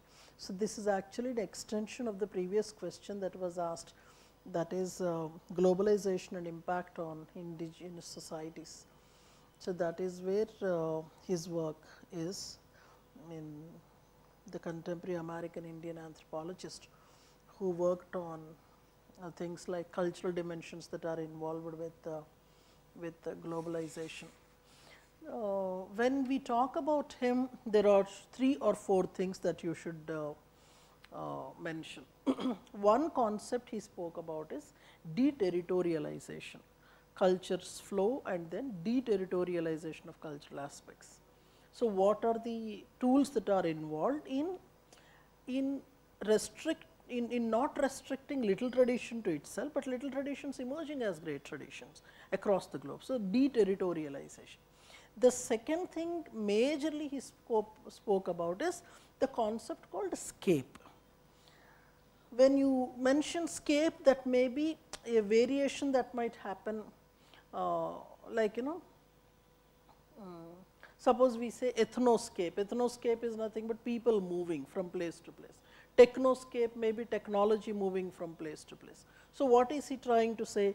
Deterritorialization of cultural aspects. Second one is scapes or movements, people moving, technology moving, goods moving or ecosystems moving. So, ecosystems travel in the sense that sometimes deserts spread, sometimes you know uh, water bodies as they are expanding the water body spread because of their, their movement the cultures change. So, he was trying to explain the geographical determinants. And then third thing that he brings in in the global cultural economy is how commodification is happening, cultural commodification. See elsewhere uh, we were discussing uh, about uh, tribal art and commodification. Today's times whatever small marketable entity is there that is getting commodified and commercialized. And in that process we may not be giving the due credit to the tribal who must have invented that thing, who must have used it for several generations. That is where he says commodification and loss of rights of the natives on particular technologies. This is one he talks about. And an extension of that what he says is because of such commodification, rights of people are being lost, there has to be international national agencies that should take care of the interests of the uh, little traditions and it is on those lines. Next year when you will be writing your exam, you will have to prepare on something like intellectual property rights and how exactly anthropology plays a role in the protection of intellectual property rights. so, that is where uh, and finally, he was talking about the emergence of cultural homogeneity, which is which is against anthropological norms. Anthropology always looked at having a recognition of all the smaller traditions and cultures. On the one hand, we see that uh, they seem to be uh, losing their identity, there is a monoculture emerging, homogenization of culture is happening, that is where anthropology has to play a major role, that is what he was trying to talk about. So, one should be watchful about what the thinkers you should be studying for the upcoming year. Um, the causes of structural abnormalities. So, this question we had uh, written, we had another question of this kind that is in the very first question, the very first question we had gene expression. Gene expression wherein we spoke about certain causes of structural abnormalities. so, you may talk about uh, chromosomal karyotyping, method that is where structural and other kinds of abnormalities are studied in order to identify the reasons whatsoever and then you may perhaps give a small table incorporating what are the different structural abnormalities that may be you know we were mentioning deletion, duplication, translocation etc. For each of them you can give the example there. After that you try to give the causes. Causes may be inheritance, causes may be maternal age of uh, the women and then uh, it may be uh, problems in the cell division, it may be radiation effects, mutation effects, so kind of things. So, basically he is right, he is asking about the causes for structural abnormalities. Then what you should be doing is uh, certain causes may be common to all these structural abnormalities. Say for example, higher maternal age may be a common thing, but then in certain cases there is no correlation between higher maternal age and the others. And also here you may talk about is there any racial equation, any particular ethnic group. Say for example, uh, you know Caucasoids uh, have got uh, higher incidence of Down syndrome when compared to the negroids, if any such kind of um, conclusions are drawn, those have to be made part of. So, causes that are common to several people and causes several abnormalities and causes that are specific to uh, to them. This this distinction has to be brought in and um, perhaps uh, you may talk about uh, uh, how genetic engineering and DNA studies is now uh, in a way helping people to prepare their own you know gene pool pictures their individual wise you know DNA profiling people are able to do by doing profiling you will be in a position to identify whether there is a possibility of inheriting uh, any kind of chromosomal abnormalities. So, you try to conclude on the utility of uh, these methods. And then you have uh, Kroeber, this is one other uh, significant uh, uh, study that is Kroeber's study of uh, kinship. So, basically speaking, uh, we mention him as uh, American anthropologist, mostly associated with diffusionary studies, but then he was also somebody who was associated with uh, kinship studies like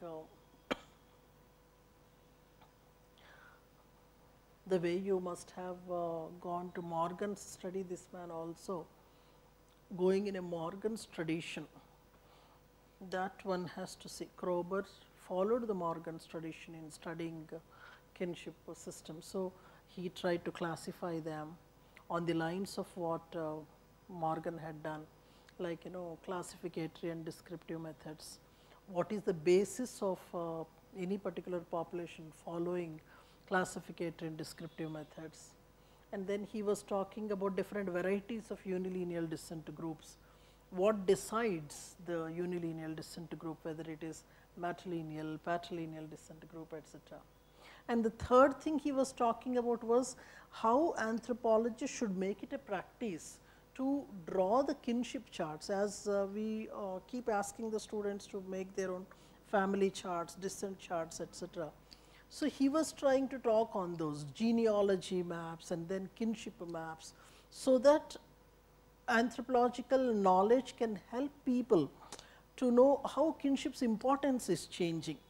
So, and then he was also talking about how um, kinship was experiencing an evolution.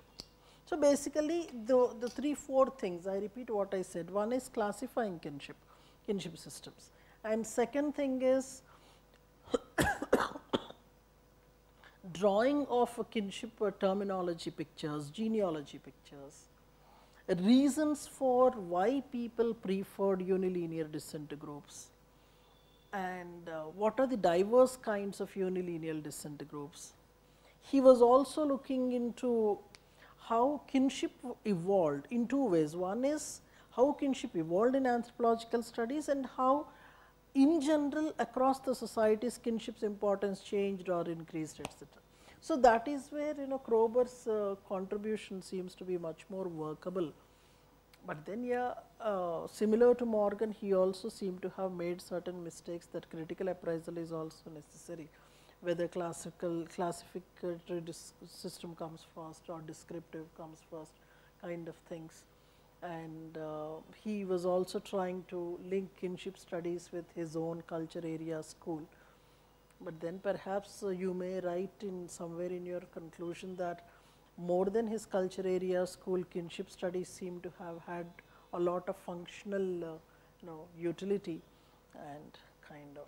So, this particular part you see that a lot of uh, you know direct questions are there and uh, yeah that is how things are two or three uh, papers are there which I will be circulating to you whoever uh, were watching and tomorrow most probably we will be having a paper 2 related uh, discussion time etc. we will let you know most probably by 8 or 8.30 in the morning it should start uh, for about 2 hours or so. So, you can perhaps come and attend. Have a good time. Thanks for your patience and and that is it. Good day.